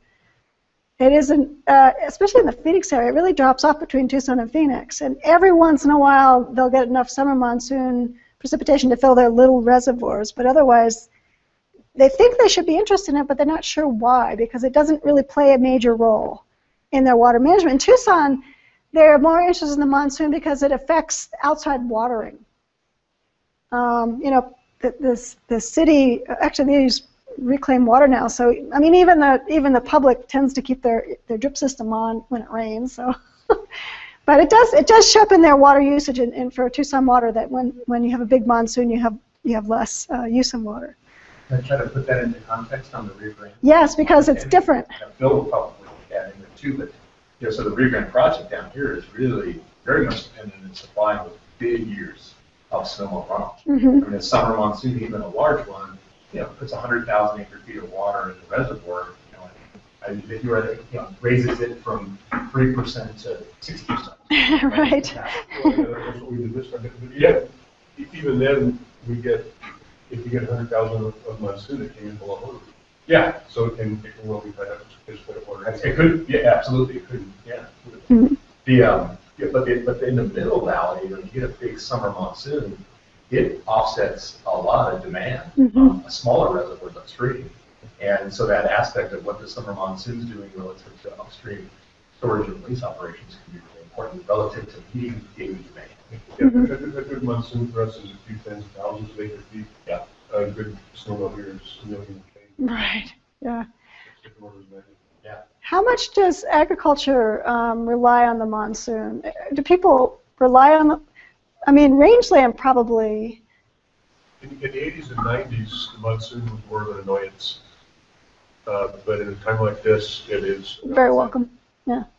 Especially with the groundwater starting to be less of a, I mean, sort of a, something that's a little bit more problem. Question. Yeah. Uh, in terms of predictability, have you thought about, um, doing these correlations? So like, you've got them, a certain threshold in the Sierra Madres that predicts, you know, prop- that, that, that, that there's a correlation that, that that's gonna propagate up a similar kind of monsoon and, and continues to propagate up so that if you see some sort of condition, I mean, I pick the Sierra Madre, Right. wherever you want to pick it in, the, in, in central Mexico, but that becomes an indicator that, you know, of, of, you know, okay, about a week from now, two weeks from now, or this season, you can anticipate some, you know, some, some, with some reliability that you're gonna have, um, uh, you know, above average monsoon, below average monsoon, certain actual values. I haven't, I don't, you know, I, I don't, I'm not a, well, like an observ- observational data meteorologist, climatologist. I kind of get into climate through the tree rings. I, some of the work that I've heard is that you can see this moisture building in the Sierra Madre. I don't, there was another theory about the Great Plains, whether the, the Great Plains gets moisture in the, from the low-level jet in the spring, and so you get a lot of greening up of the Great Plains before the monsoon season. There's sort of this turning when that moisture turned off, the, the moisture turned on in, in the in the monsoon area. So if you have a you know sort of a, a, a very um, if you have I forget how it went if you had wet conditions, did it was there a correspondence? There was a correspondence between that. Dave probably do you know more about this? Than, I mean, I'm trying to think about it. yeah. there was a there was a Great Plains um, connection with with the uh, with the monsoon area, but I think the bottom line is that there.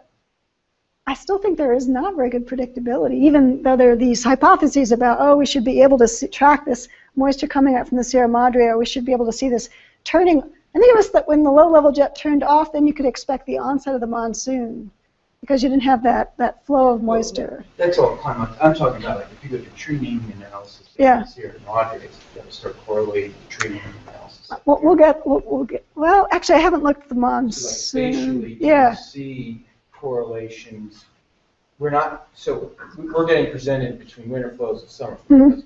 That's the good and Right. one. We'll get to the Rio Conchos in a minute. So, So I'm, I was asking the question, is there correlation between southern, south of our latitude? right. Wet periods with our, with with northern, but these southern latitudes? Yeah. How those have correlation? Yeah, I don't know if it's done what has been done yet for the instrumental data, and I know for sure it hasn't been done yet for the tree ring data, but we could look at that. Definitely could look at that. Okay, here's another way. Uh, um, I guess my, my question that I was thinking about was, what about these sequences of a wet winter followed by a wet summer, or a dry winter followed by a dry summer, or the reverse? Are there patterns that we see in this? Um, so what I did is I, I'm looking at um, uh, again, using the, actually this, in this case I'm looking at wet and dry, years that are in the wettest third and the driest third, so I'm not looking at the average years. I'm looking at combinations of high flow and dry monsoon, low flow and wet monsoon, wet, wet, and dry and dry, and looking at it by 50-year periods except for this one. So look, at, you know, certainly you can see differences in these patterns, but there's not, there's not, you know, and these are years there's not a message here that says, oh, we tend to have a dominance of opposite conditions or shared conditions. It's variable over time. And in, in all of these cases, uh, these patterns are not significantly different from random. The biggest uh, sort of difference you can see is in the 1700s, you had a much higher proportion of uh, shared wet and shared dry seasonal precipitation and stream flow. So, I mean, if anything, something might have been going on different here. Is that the, you know, the, the, the cooler time period, right? The, maybe ice age time period in here somewhere? or- I don't know. Theoretically, yes. I mean, in terms of a hemispheric, but I don't know about here. Um, yeah. I don't know. I mean, we see here the earlier half of the 20th century. See this? This is the the big peak of the the early sort of wet period, the pluvial period, particularly for stream flow. But also we had wet monsoons. Um, and this is look. This is covering uh, the 1950s period. I think that spikes from that. Did you look at it as a whole for this five, fifty-year period? I could, I could, and I, uh, hmm, seems like I'm, Equal? I might have done that somewhere, but I, yeah. Just Is this, um, you're saying flow and monsoon, different in monsoon? Monsoon to monsoon? These are for the same year though, so, I know, but you have a wet winter and a wet monsoon in the monsoon sample set. Right, because this is looking at snowpack versus monsoon, right? right. But have you done it looking at monsoon monsoon? You mean the monsoon in the following Yeah, year? wet, if you, if- well, well, monsoon meaning southern latitudes, winter, early wood, late wood. Mm. So you had an early wood that had wet conditions, a late wood that had dry. Oh, within the same, but, yeah, no, I haven't. So for looking, instead of comparing it to stream flow, doing a cool season precipitation reconstruction for the same area. No, I haven't done that. Haven't done that. The other thing that I could do is, given a, given a sequence of, um, uh, I mean, I could do the probability of a, given a sequence of high flow and dry monsoon, what's the probability of the next year? You could do those kind of numbers with, with this as well. I guess the reason why I bring it up is I'm thinking about antecedent conditions. Right. Really wet. Yeah, yeah, Does that yeah. here? does that Actually, for- to Yeah, for the, Above average monsoon here. Yeah, for the paper, there's the, the 2013 paper, I think we actually do, do that for the instrumental data. the instrument, Yeah. And there isn't a correlation. And there's no, and there's no. Okay, I'm getting close to the end. I'm, I'm getting, I'm getting near the end of, of the time. Here I am throwing another different, another way of looking at the, this information. This is looking at sequences of um, wet, this is the wettest third, driest third, and middle values just for some different 15-year periods, just to show you the, the variability. This is the June, July on top, Otowi flow on the bottom. This is the 1907 and 1921, that one of the wettest periods. You can just see there's just incredible, you know, really great wet period for the for the flow. Um, nicely spaced dry conditions, but predominantly wet for the monsoon. Here's our worst uh, drought in both seasons. It's a 1659 to 1673. Uh, just this intense period here from about 1663 to 1699. Here's just a set of opposite conditions. In both cases, these 15-year periods were, were just about the same. They're about 102% of average. But you can see the arrangement of those uh, conditions were really different from year to year. And this is recent conditions. This is the Del Norte flow because I didn't have it updated, um, and that's the estimate for 2013. And this is June, July precipitation. There's, there's June to August. This is instrumental data. So this is what um, the record looks like. I mean, if you wanted to compare this kind of a thing with this worst case, that's probably as close as you could get. So we're not quite seeing these kind of conditions. We're seeing two chunks of back back both season dry conditions and since uh, the 2000s. And then this is just.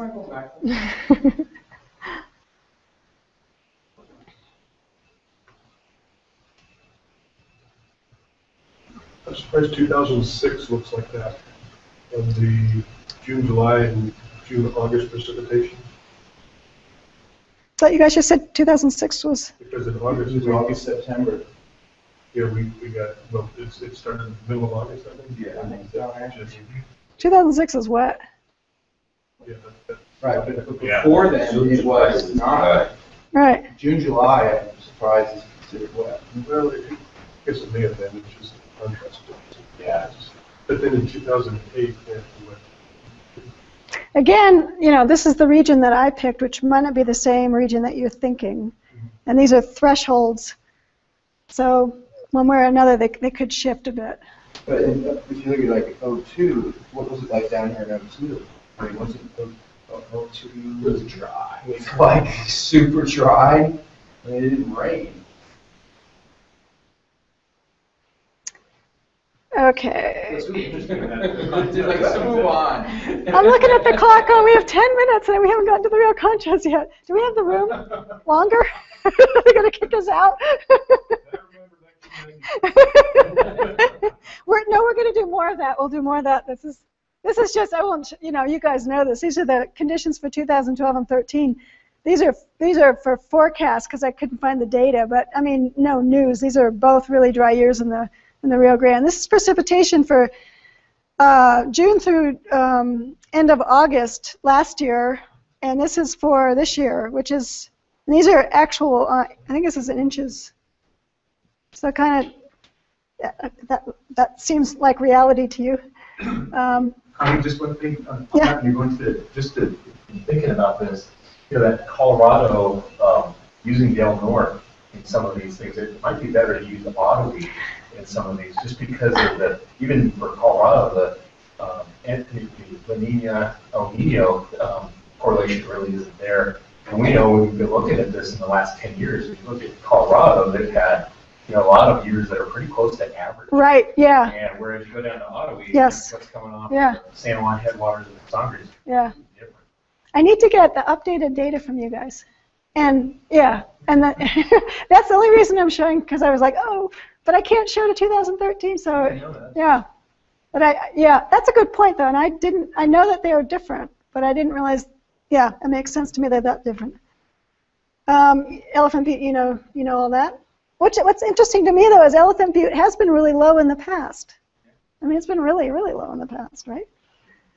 Um, this is the instrumental data. This is just my, okay, where I'm going with this is that the, at the reconstructions end in 19, or in 2002 for the, for the stream flow and in 2008 for the, for the precipitation. So I, you, you can't quite compare the reconstructed, uh, reconstructed records with, with, with the, with the years that they don't over, that they don't include in the calibration. It's not it's a little bit apples to oranges. So I wanted to look at the instrumental data first in terms of putting the, the last 10 or 15 years into long-term context. So this is the instrumental data, and I'm going to be using Del Norte because it, I have it up to 2013, but I could do it for Otowi if I had the data. And June, July. And these are, again, looking at wettest, driest, and in between. And just looking at some of these runs, I mean, you know, low flow six of seven years in the 1950s, 15 years with only two high year flows. You know, we're not doing a whole lot better here, 14 years with only two high flow years at, at Rio. For the precipitation, um, this was not good. 11 years, none of them wet. Um, 1930s, um, five of six years were extremely dry, and then here's a 16-year run with only two wet years. So I also did uh, moving averages of, of this information, trying to rank, you know, 10-year periods up to 15-year periods, trying to see if the most recent 10-year period, 15-year period floated to the top, and it never did. Um, for streamflow, um, two of the in the last 15 years, uh, two of these periods came in at second or third for streamflow. The 60s, 50s and 60s were still lower. And then for the uh, precipitation, you know, we're, you know, in this in this analysis, which admittedly is June and July, we're still pretty far from the severity of the 1950s, from what I can tell. So uh, the results were pretty similar for June, July, August, in terms of that. I mean, you know, our recent any looking at any 10 to 15 year period in the last 15 years, you're still behind 1900s, 1930s, and 40s and 1950s in terms of average values. 37th driest in 11 year periods. That was the good, the best I could get. So if we think about okay, the 1950s is the it, for stream flow is is the is the really the big event for the for the 20th century, and we look at this again, we can see that comes in as sixth, um, and we're not that far from this. So the Rio Grande is, you know, we can't say it's the worst drought there's ever been, but it's in the context of this longer record, it's it's up there. In terms of the um, precipitation, though, this ranks number two, but we're still a ways from that severity now. So, and this is also a shorter record. We don't get, we're not getting the late 1500s, which I think would probably bump this down a bit. So that's the best. The context question is always hard. People always want to know, well, how does this drought compare to the one, you know, to the longer mm-hmm. record? And you go, okay, how are you defining drought? and how, how can we actually connect what we're seeing now with the with the reconstructed values, which um, you know reconstruction ends and before these that so many of the drought years we're experiencing now. This, this makes me think more about yeah, I mean that aspect of port with the, the Del Norte correlation to Otowi. Yeah. And seeing how that would, Yeah. might change things up. Yeah, yeah, we should look at that. I also I would love to get that reconstruction further back in time. Okay, very fast, the Rio Grande and Rio Conchos flows. And um, this is comparing it with the Rio with the headwaters, but it would be interesting to compare it with the precipitation as well. So Del Norte gauge, this is the area I'm looking at. This was um, precipitation data from uh, Art Douglas. I don't know if any of you know him. He worked for a long time. He was a climatologist that worked with Mexican climate data and tried to clean it up and uh, get it in a useful format. And he did some regionalization and, and defines this as Region 5, which pretty much coincides with the Rio Conchos headwaters. So there were some gauge records on the Rio Conchos, but they just were not very long or probably very reliable. So there are there's a collection of tree ring data in Mexico that I've not collected, but my colleague um, Dave Stahle and uh, uh, colleague uh, Jose Villanueva in uh, Mexico have collected, and they have done earlywood and latewood for those chronologies as well. But the best we could get was um, October through July. The trees down there don't see the heart of the monsoon because I think they're probably they have enough water, and more water doesn't help them out. Even the monsoon is more intense down there, we really need to work more down there. And figure out if we can get that better. But looking at percent of average, um, if you do water year precipitation for this area and you do October through July, it really it varies pretty closely. So if we use this as a proxy for water year, if we consider it as a percent of average and not magnitude, we can probably do some comparisons. And then if we throw the Rio Grande water year flow on top of that, um, it doesn't look very correlated, and it's not. Oops. And then the only thing I'm going to show you, which is in the paper, is, oops, oh, one more thing. These are the models. This is the reconstruction in the dark line and the observed in the gray line for the Del Norte, and then here's for the Rio Conchos. Again, this is only explaining about 50, 54% of the variance, so not as skillful, but still. This is the one result that I'll show is even when you have, and this is a smooth the 20-year filter, 1649 to 1993. And um, I'm just highlighting the periods where you have drought in both watersheds.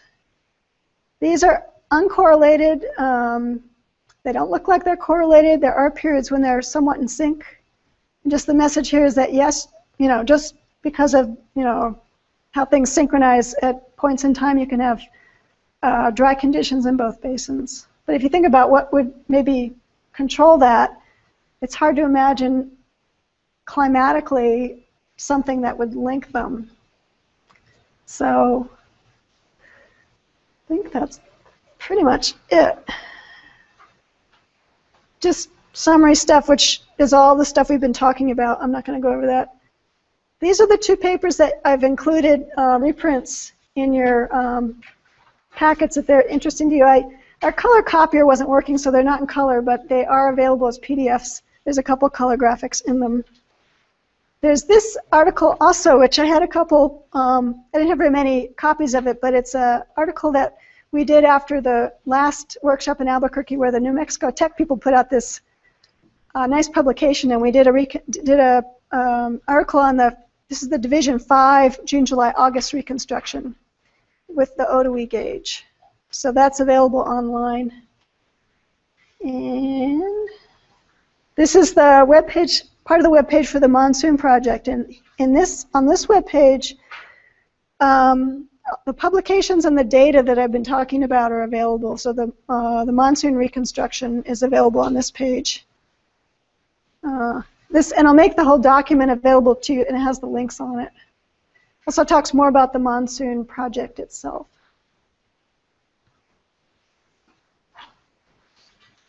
So, I'm done, and we have three minutes. I don't know. They're not going to kick us out, are they?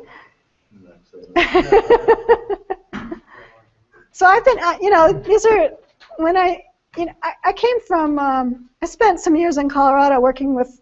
I mean, I, I'm a I'm a paleoclimatologist. I'm not a climatologist. I'm not a hydrologist. I have no no experience at all in water management. And in 2002, I had water managers in Colorado come to me saying, "How often do we get a low flow like this?" And so I started working with water managers and learned a little, like enough to be dangerous. and I all I knew about was runoff, um, stream flow. That was the name of the game in Colorado. Not really much. Uh, not, nobody cared about summer precipitation. So when it came to Arizona, like, oh, there's this thing called the monsoon. And even in Arizona, like I said, the monsoon is a funny thing. People seem like they should care about it, but they're not really sure what they should do with it. Um, and it seems like when we went to New Mexico the last time, people were saying, yes, the monsoon really is important here. and it's like, oh. And, and, and uh, Rolf, you've talked about some of it, why it's so important. And so um, after that workshop, I was thinking, well, maybe, maybe we should talk more about this and um, see if there's something we can do. I'm, I'm getting some ideas about other things we can do with this reconstruction and the Rio Grande and looking at the cool season precipitation as well. So I'd be interested to hear about more ideas or more questions you have or more, what if we looked at it this way or things like that. So, yeah. I just have a couple of things that relate well, of New Mexico stuff. But, uh, like in the middle Rio Grande for the summer monsoon with regards to uh, demand management through the, through the Middle Valley, we have $800 million worth of infrastructure that's been put in in the last 10 years Wow. uh, related to ESA issues or cities putting in certain water diversions and so on. And, um, and, and the aspect of if we had some more predictability with regards to the summer monsoon of when it might come on Yeah. and start and how strong it might be, Mhm. it would significantly change, and we had confidence, right? It would significantly change some of the water management um, activities that go on earlier in the year. Mhm. And uh, for, you know, for endangered species, for targets, for irrigation, so on.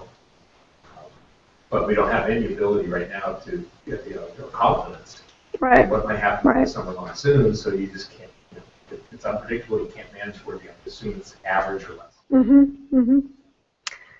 Yeah, I mean, we can we can look at the statistics of the sequences and do some things like, given this sequence, here's the here's the probability of this outcome in this year. I mean, just based on the past record, if you have, a, you know, if we can find those kind of types of examples where we see a, you know, you know, we see this often sequence where you get this, you know, wet dry pattern, and then the, the following year is this. Um, maybe that can help. I have a graduate student that's working on a a, a visualization tool for um, California Department of Water Resources. That's it's different. It's looking at Colorado River flow and Sacramento flow, but looking at again sequences of if you have this sequence in the Colorado and this sequence in the Rio Grande, what is you know, if, give me a histogram of what the fourth year looks like. So we could do something like that. That would give you an idea just based on history.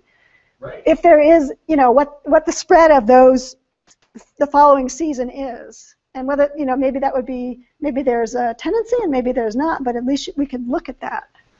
But That'd be great. I mean, the other thing we're looking at is the state water plan, and we have all the, you know, this uh, West-wide climate assessment and the, and basically downscaling of, uh, you know, the GCM results to New Mexico and other places, Mhm. and, uh, and then trying to carry that forward for some kind of predictive mode, right? Right. But every single one of those, um, um, model runs have some, uh, you know, it's all, has some climate change forcing in it. Right. We're thinking, well, you know, given that we, you know, we see the variability of these kind Yeah. of, uh, these cycles that you, that you show in there, you know, having some kind of a baseline that could be developed off of the tree ring data to Mhm. say, well, you know, here's what you might expect, the kind of variability that occurred naturally, and then overlay that with, uh, you know, some of the, the the climate change. Right. Yeah, there's actually a little bit of work that's been done on that. Um, there's a hydrologist named Manu Lall who's at Columbia. Okay. And he's done, uh, he, he was sort of playing around with it for the Colorado, looking at the, the spectral characteristics of the time series and the, for the tree ring data, you know, so you can get the, these frequent, different frequencies and then building that into the future with a model. And, uh, you know, he didn't, he didn't publish that. Right now we have a proposal in to work on the Missouri Basin. It's the same idea, though. It's, it's this, uh, yeah, it's, this- it's um, uh, spectral modeling and forward, forward modeling. So we should we should keep on in touch with that because uh, we, we have no idea if we'll get funded for the Missouri stuff. But again, it's, it's the same approach that is what you're saying. Is that let's take what the information we know, you know, from the tree ring record and use it to project forward as sort of a natural baseline. Yeah. So that's yeah. I'm glad to hear you're interested in that. I'll I'll tell him that and we'll. yeah. Other ideas? Yeah. So I've got to believe you've done some of this before. For the Gila? I haven't, but my colleague Dave Meko has. Yeah, he, we have, uh, actually in the TreeFlow website, there's a, I think it's the upper Gila, is there a gauge at Solomon, I think, which is a longer gauge? There's a reconstruction for that. Um, we actually just worked with, uh, this is a, this, this turned out to be more, more sensitive than I thought it would be, that uh, Upper Basin wanted to know what the estimated flows were where the Gila ran into the Colorado River. for reasons that have to do with the Colorado River Compact. And we're, we're actually we're able to do that uh, even though the flows are basically non-existent now on the Gila from Phoenix down. But uh, there was a paper, a, University of Colorado student had a paper that came out on that. Um, but Dave Meko is the guy that's been doing most of the work in the Gila and the Salt. But I know the Gila is, there's some things going on up there that um, are of interest, probably. Well, there's things of interest, but there's also, I mean, that's a basin that's going to be more influenced by monsoons. Uh, Yeah, I don't. Yeah, the flows of the. I don't know if you're talking about the Gila River or the or that area. The flows are still uh, winter. Uh, winter precipitation dominated. Um, I did a little work looking at um, uh, monthly stream flow and monthly precipitation and and where the correlations were. And for the Gila, for the water year flows, they're still largely dominated by cool season. The, I think I was using the gauge at, um, I think it's Solomon, the longer gauge that's near the headwaters. I think. I think it's I was Solomon. wondering if there's a difference between, you know, uh, well, so you have what you coming out of New Mexico anyways, or somewhere. Yeah, it was pretty high in the headwaters because it was a gauge that hadn't didn't have didn't have too many see that in the diversions. headwaters, but I mean, that's further south. Yeah, well, you know In that the last 15 years, it seems like the Gila really runs when you get wet, wet, or you get wet months. Right. The Salt, the Salt River Project folks um, capture the Gila, the salt Gila Tonto in their reservoirs. And they, uh, yeah, 2006 was one year where they said, wow, the monsoons filled our reservoirs. Uh, so it's a really good monsoon, and that, I don't, 2006 was not a wet winter. Haven't been any wet winters. Um, so it really did have an effect. Um, we talked to them, and they're like, we should, yeah, we should care about the monsoon. They should talk to you guys. You seem to have more reality on the importance of the monsoon. It's an urban system. They're they're also mostly managing. I don't know if that makes a difference or not, but what you're saying. Well, I'm thinking more about New Mexico. I care less about Arizona, Right. to be honest with you. That, you know, You want to build a project. Right, I know. So if we're, and so like this last kind of bout of monsoons, saw, that's the kind of project that's being contemplated is to scout those flows. And so if we get a sense of what the monsoons really are, thousand year time frame, then we're starting to get a better sense of, you know, what kind of, is that fourteen thousand that we're gonna go after? Coming in the summer, coming in the winter? And, you know, what are those, you know, what are those people doing? Right. So it seems like one of the thing, one of the things that would be interesting to know first, and maybe the work has been done, is if you looked at the, if you worked, looked at the gauge records now and the instrumental data, how often does the monsoon make a discernible, whatever that is, difference to the flows? And then with that information, go back in time and see you know, you probably identify some thresholds where the monsoon does make a difference. And then with the reconstruction, go back and say, how often do we hit that threshold where the monsoon makes a difference? That we could do. That we could do. We have the flow reconstruction. Um, we could do the monsoon. Yeah, we could do a monsoon, that area. I wonder how big of an area. That's, you know, that's an interesting area because it's kind of transitional between that boundary between Arizona and New Mexico. Which makes it interesting scientifically, but maybe complicated in terms of, yeah, But we're not racial standpoint. right, sure, yeah, across the state line. yeah. I would care less. no, not that it's a state line. It's it's a it's sort of a it's a climatic boundary. so, but that that would be interesting to do.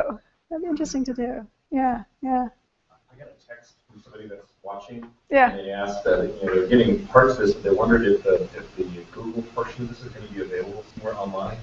If if the actual workshop that is recorded on Google can be viewed.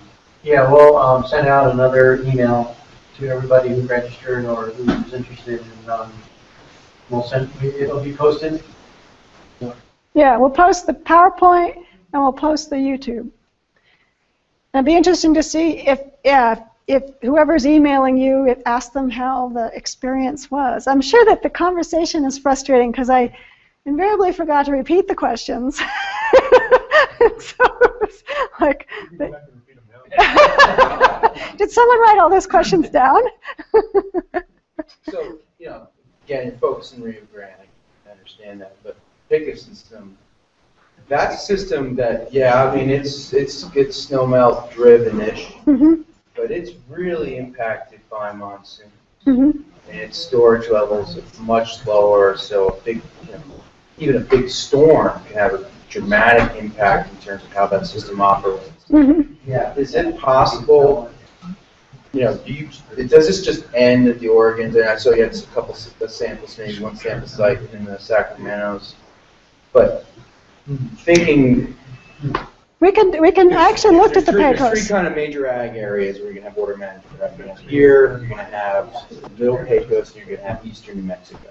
And so, okay, eastern New Mexico, I'm just gonna cross an off, there's no trees there. Right. So, but, but the Pecos system is interesting because you have the Sacramentos, Mhm. and the Sacramentos feed the artesian aquifer, which is pretty major aquifer, world-class aquifer. But you also have surface flows that really make a difference in terms of, you get a twenty thousand acre foot, you know, storm, that, that changes the dynamic, particularly down south. Mhm. So, have you guys ever thought about talking to the, the folks? Have? Yeah, actually, I, I gave a talk to, um, there's, there's wa- water judges in the state, right? There's a, are they called water judges? There, there's like a, a wa- water court. They have a, judges in each district court that Right. water cases. right, and they have, a they have a meeting every year. And a couple of years ago, I did, I did give a talk to them, and there was, I can't remember the name, the gentleman who looked over the Pecos area, but he was interested, and I couldn't get back to him right away, but I did actually look at the feasibility of doing a Pecos reconstruction for streamflow, and it is possible. Um, so yeah, I mean, there's, Because, I mean, it fit in the ESA, fit in irrigation ops, those kinds of things, fit in that management, because you have a real strong correlation reset impacts the system there. so would you be most interested in the flow record or the a monsoon reconstruction, or both, or winter cool season precipitation, all of the above? Well, I mean, I'm, I mean. In a perfect world. Conservation Bureau, but I mean, I've worked with Pecos a lot, I mean, there's a lot of controversial issues there. I mean, I'm cer- I'd be really surprised if, you know, kind of Ross counterpart part over there would be, you know, adverse to having that kind of longer-term record Mhm. Be able to start modeling some of the way we manage that system. Mhm. That's, so when we talk about monsoon, I mean, I kind of feel, you know, there's really good things to think about in the lower Rio Grande, but monsoon, Bill said it best, I mean, you know, you get at best hundred thousand acre feet, but you get a good snow year, you get a million acre, Mhm. you know, so I mean, Right. Snowpack, snowpack, snowpack. Mhm. But on the Pecos, it's a little different. Yeah. Snowpack is really important and can make a big difference to get late snows. But monsoons can make a big difference as well. And Mhm. I don't know that they have, how, you know, how far back do they have good, um, reconstructions that go back to. Yeah, I don't think this, the work has been done there. So for example, how would that play out? So, you know, when when you look at Pecos River Compact, the Pecos River Compact is based on data from 1919 to 1996. That's the period of record. Mhm. How does that period of record stand up over Right. this period of Right. Well, we do have, among other things, I, I'm trying to do a, a, a second phase of this monsoon project with the National Science Foundation. So if I get my act together to submit a proposal, one of the things we want to do is work more with the isotopes so we can get the rest of the season. Um, we also want to integrate the Mexican chronologies, the Mexican data, with our data set and do the same data treatment in terms of the adjustments that we did to separate the early wood from late wood for the Mexican chronology so that we have a Mexico, a, a real monsoon data set. We didn't do Mexico because we had colleagues who had already done Mexico and we wanted like, you know, we don't want to step on their toes while we develop this data set, but now it's time to move them together. So that would be part of it, and also more sampling from what we learned in terms of the ponderosa pine getting us more into the season. So part of that proposal would be justification, which NSF actually does say they care about. Broader impacts is what they call it. Program you, you applied to? I would. This one was funded by the Paleoclimate Program, so that's usually who I go with. Um, it's really competitive now because NOAA doesn't fund paleoclimate fieldwork, and there's really no other pot of money to go for. But um, folding in the needs of the Pecos region and, and some of these other ideas would really uh, strengthen that proposal. So I- I regret that. ac- I think Greg would be really interested in that. Oh, yeah. Yeah. I regret that academically our funding cycles are not very, I mean, this is like, we'll put the proposal in this fall, you know, maybe we'll hear about it next summer. And then maybe we'll do the field, that's why it takes so long to get this stuff done, which is frustrating because you guys are like, here's a great idea, what- you know, while we're thinking about it, can you get us the data? It's like, well, five years later, here it is. I know. I think everybody would be happy to get it five years later. and there's so many good questions. Um, I appreciate you coming to listen, and I, you know, connecting. For me, I really, I, I think it's, you know, doing science and publishing is sort of the, the game, getting things funded. But it's for me, it's interesting, more interesting to talk to you guys and figure out how you might actually use this information, because it makes me think about the data in a different way, and it makes me think about the broader sort of implications for this work. So I really, I really um, appreciate you coming and spending time. And I know that these conversations are often sort of like, oh, we have a bunch of ideas and you don't hear from me for a bunch of years. and it's like, oh, guess what? Um, so I hope that, you know, if you've got questions, if, if you want to bug me about something, I'd be happy to hear it. If you have more questions now, we didn't, I, the IBWC, I've never um, talked to you folks about tree rings. And I, I know, um, I, I went to a conference in Santa Fe and Sally Spener was there and she talked about the, the um, Rio Grande Compact and all the negotiations. And, I, and she was the first person that said, you know, the Rio Conchos is like a totally different system. And yet that is the Rio Grande once you get, you know, below El Paso. so that was really interesting to me to, to hear about. I, I can say that your, your work has been very helpful uh, in dealing with a lot of um, folks in in trying to get them to look ahead in, in terms of water use planning who think that uh, climate change is a liberal conspiracy. You can say, okay, no climate change, let's just be ecclesiastical, Mm-hmm. ecclesiastical about it. That which has been will be again, and that it's, it's very useful to get, get past that issue. Right, yeah. It's very easy to do that. And it's also, I mean, you know, going into the future, of course, the future isn't going to be the same as the past, but natural variability is not going to turn off. We're going to have this, whatever has been going on and driving it in the past is going to continue into the future. So it's important to, to know about that as well. So I think it's, Interesting, we've been using it the same way at Hill Stocks in the back here too, because you get into that, you know, climate change or whatever, people just shut down. Yeah. But if you go in and say, hey, here are these tree ring reconstructions, you can put it in, you can see how these things tie together. Yeah. And guess what? You know, the droughts that have been out there are longer than anything we've made it through. Right. We gotta figure out ways to be able to make it through what we know has occurred in the past. Right. What we worry so much about model work. hmm And Uh, it can be used to isolate the difference between climate change and the nature. right, exactly. Yeah. I mean, is this, you know, is this event we're seeing now, is it Is it way out of the range of natural variability? We can say that for temperatures now, but we can't say that for precipitation.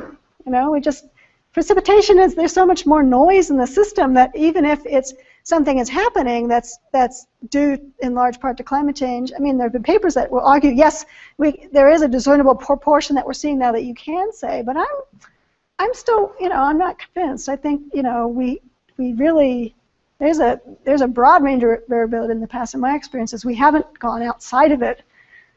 Individual event could have a contributions if you could separate it out, but we haven't gone outside of what we would expect from natural variability. We took a look at trying to look at the last ten years of the peak snowmelt runoff that we were occurring even in Colorado, the historic record. Because we were hearing people say, you know, we're seeing these things that are outside of Right. anything anybody's knows in history. And the reality was, you go back and you look at the OEB index, you know, flows and things like that, that go in the eighteen nineties, and you can find dates in the thirties Yeah. where the peak came before. Recently, there's only one year, last year, we, we had a March peak. And only on, on the Chama that came earlier than what we Yeah, yeah. Thank you. All right, well, thank you.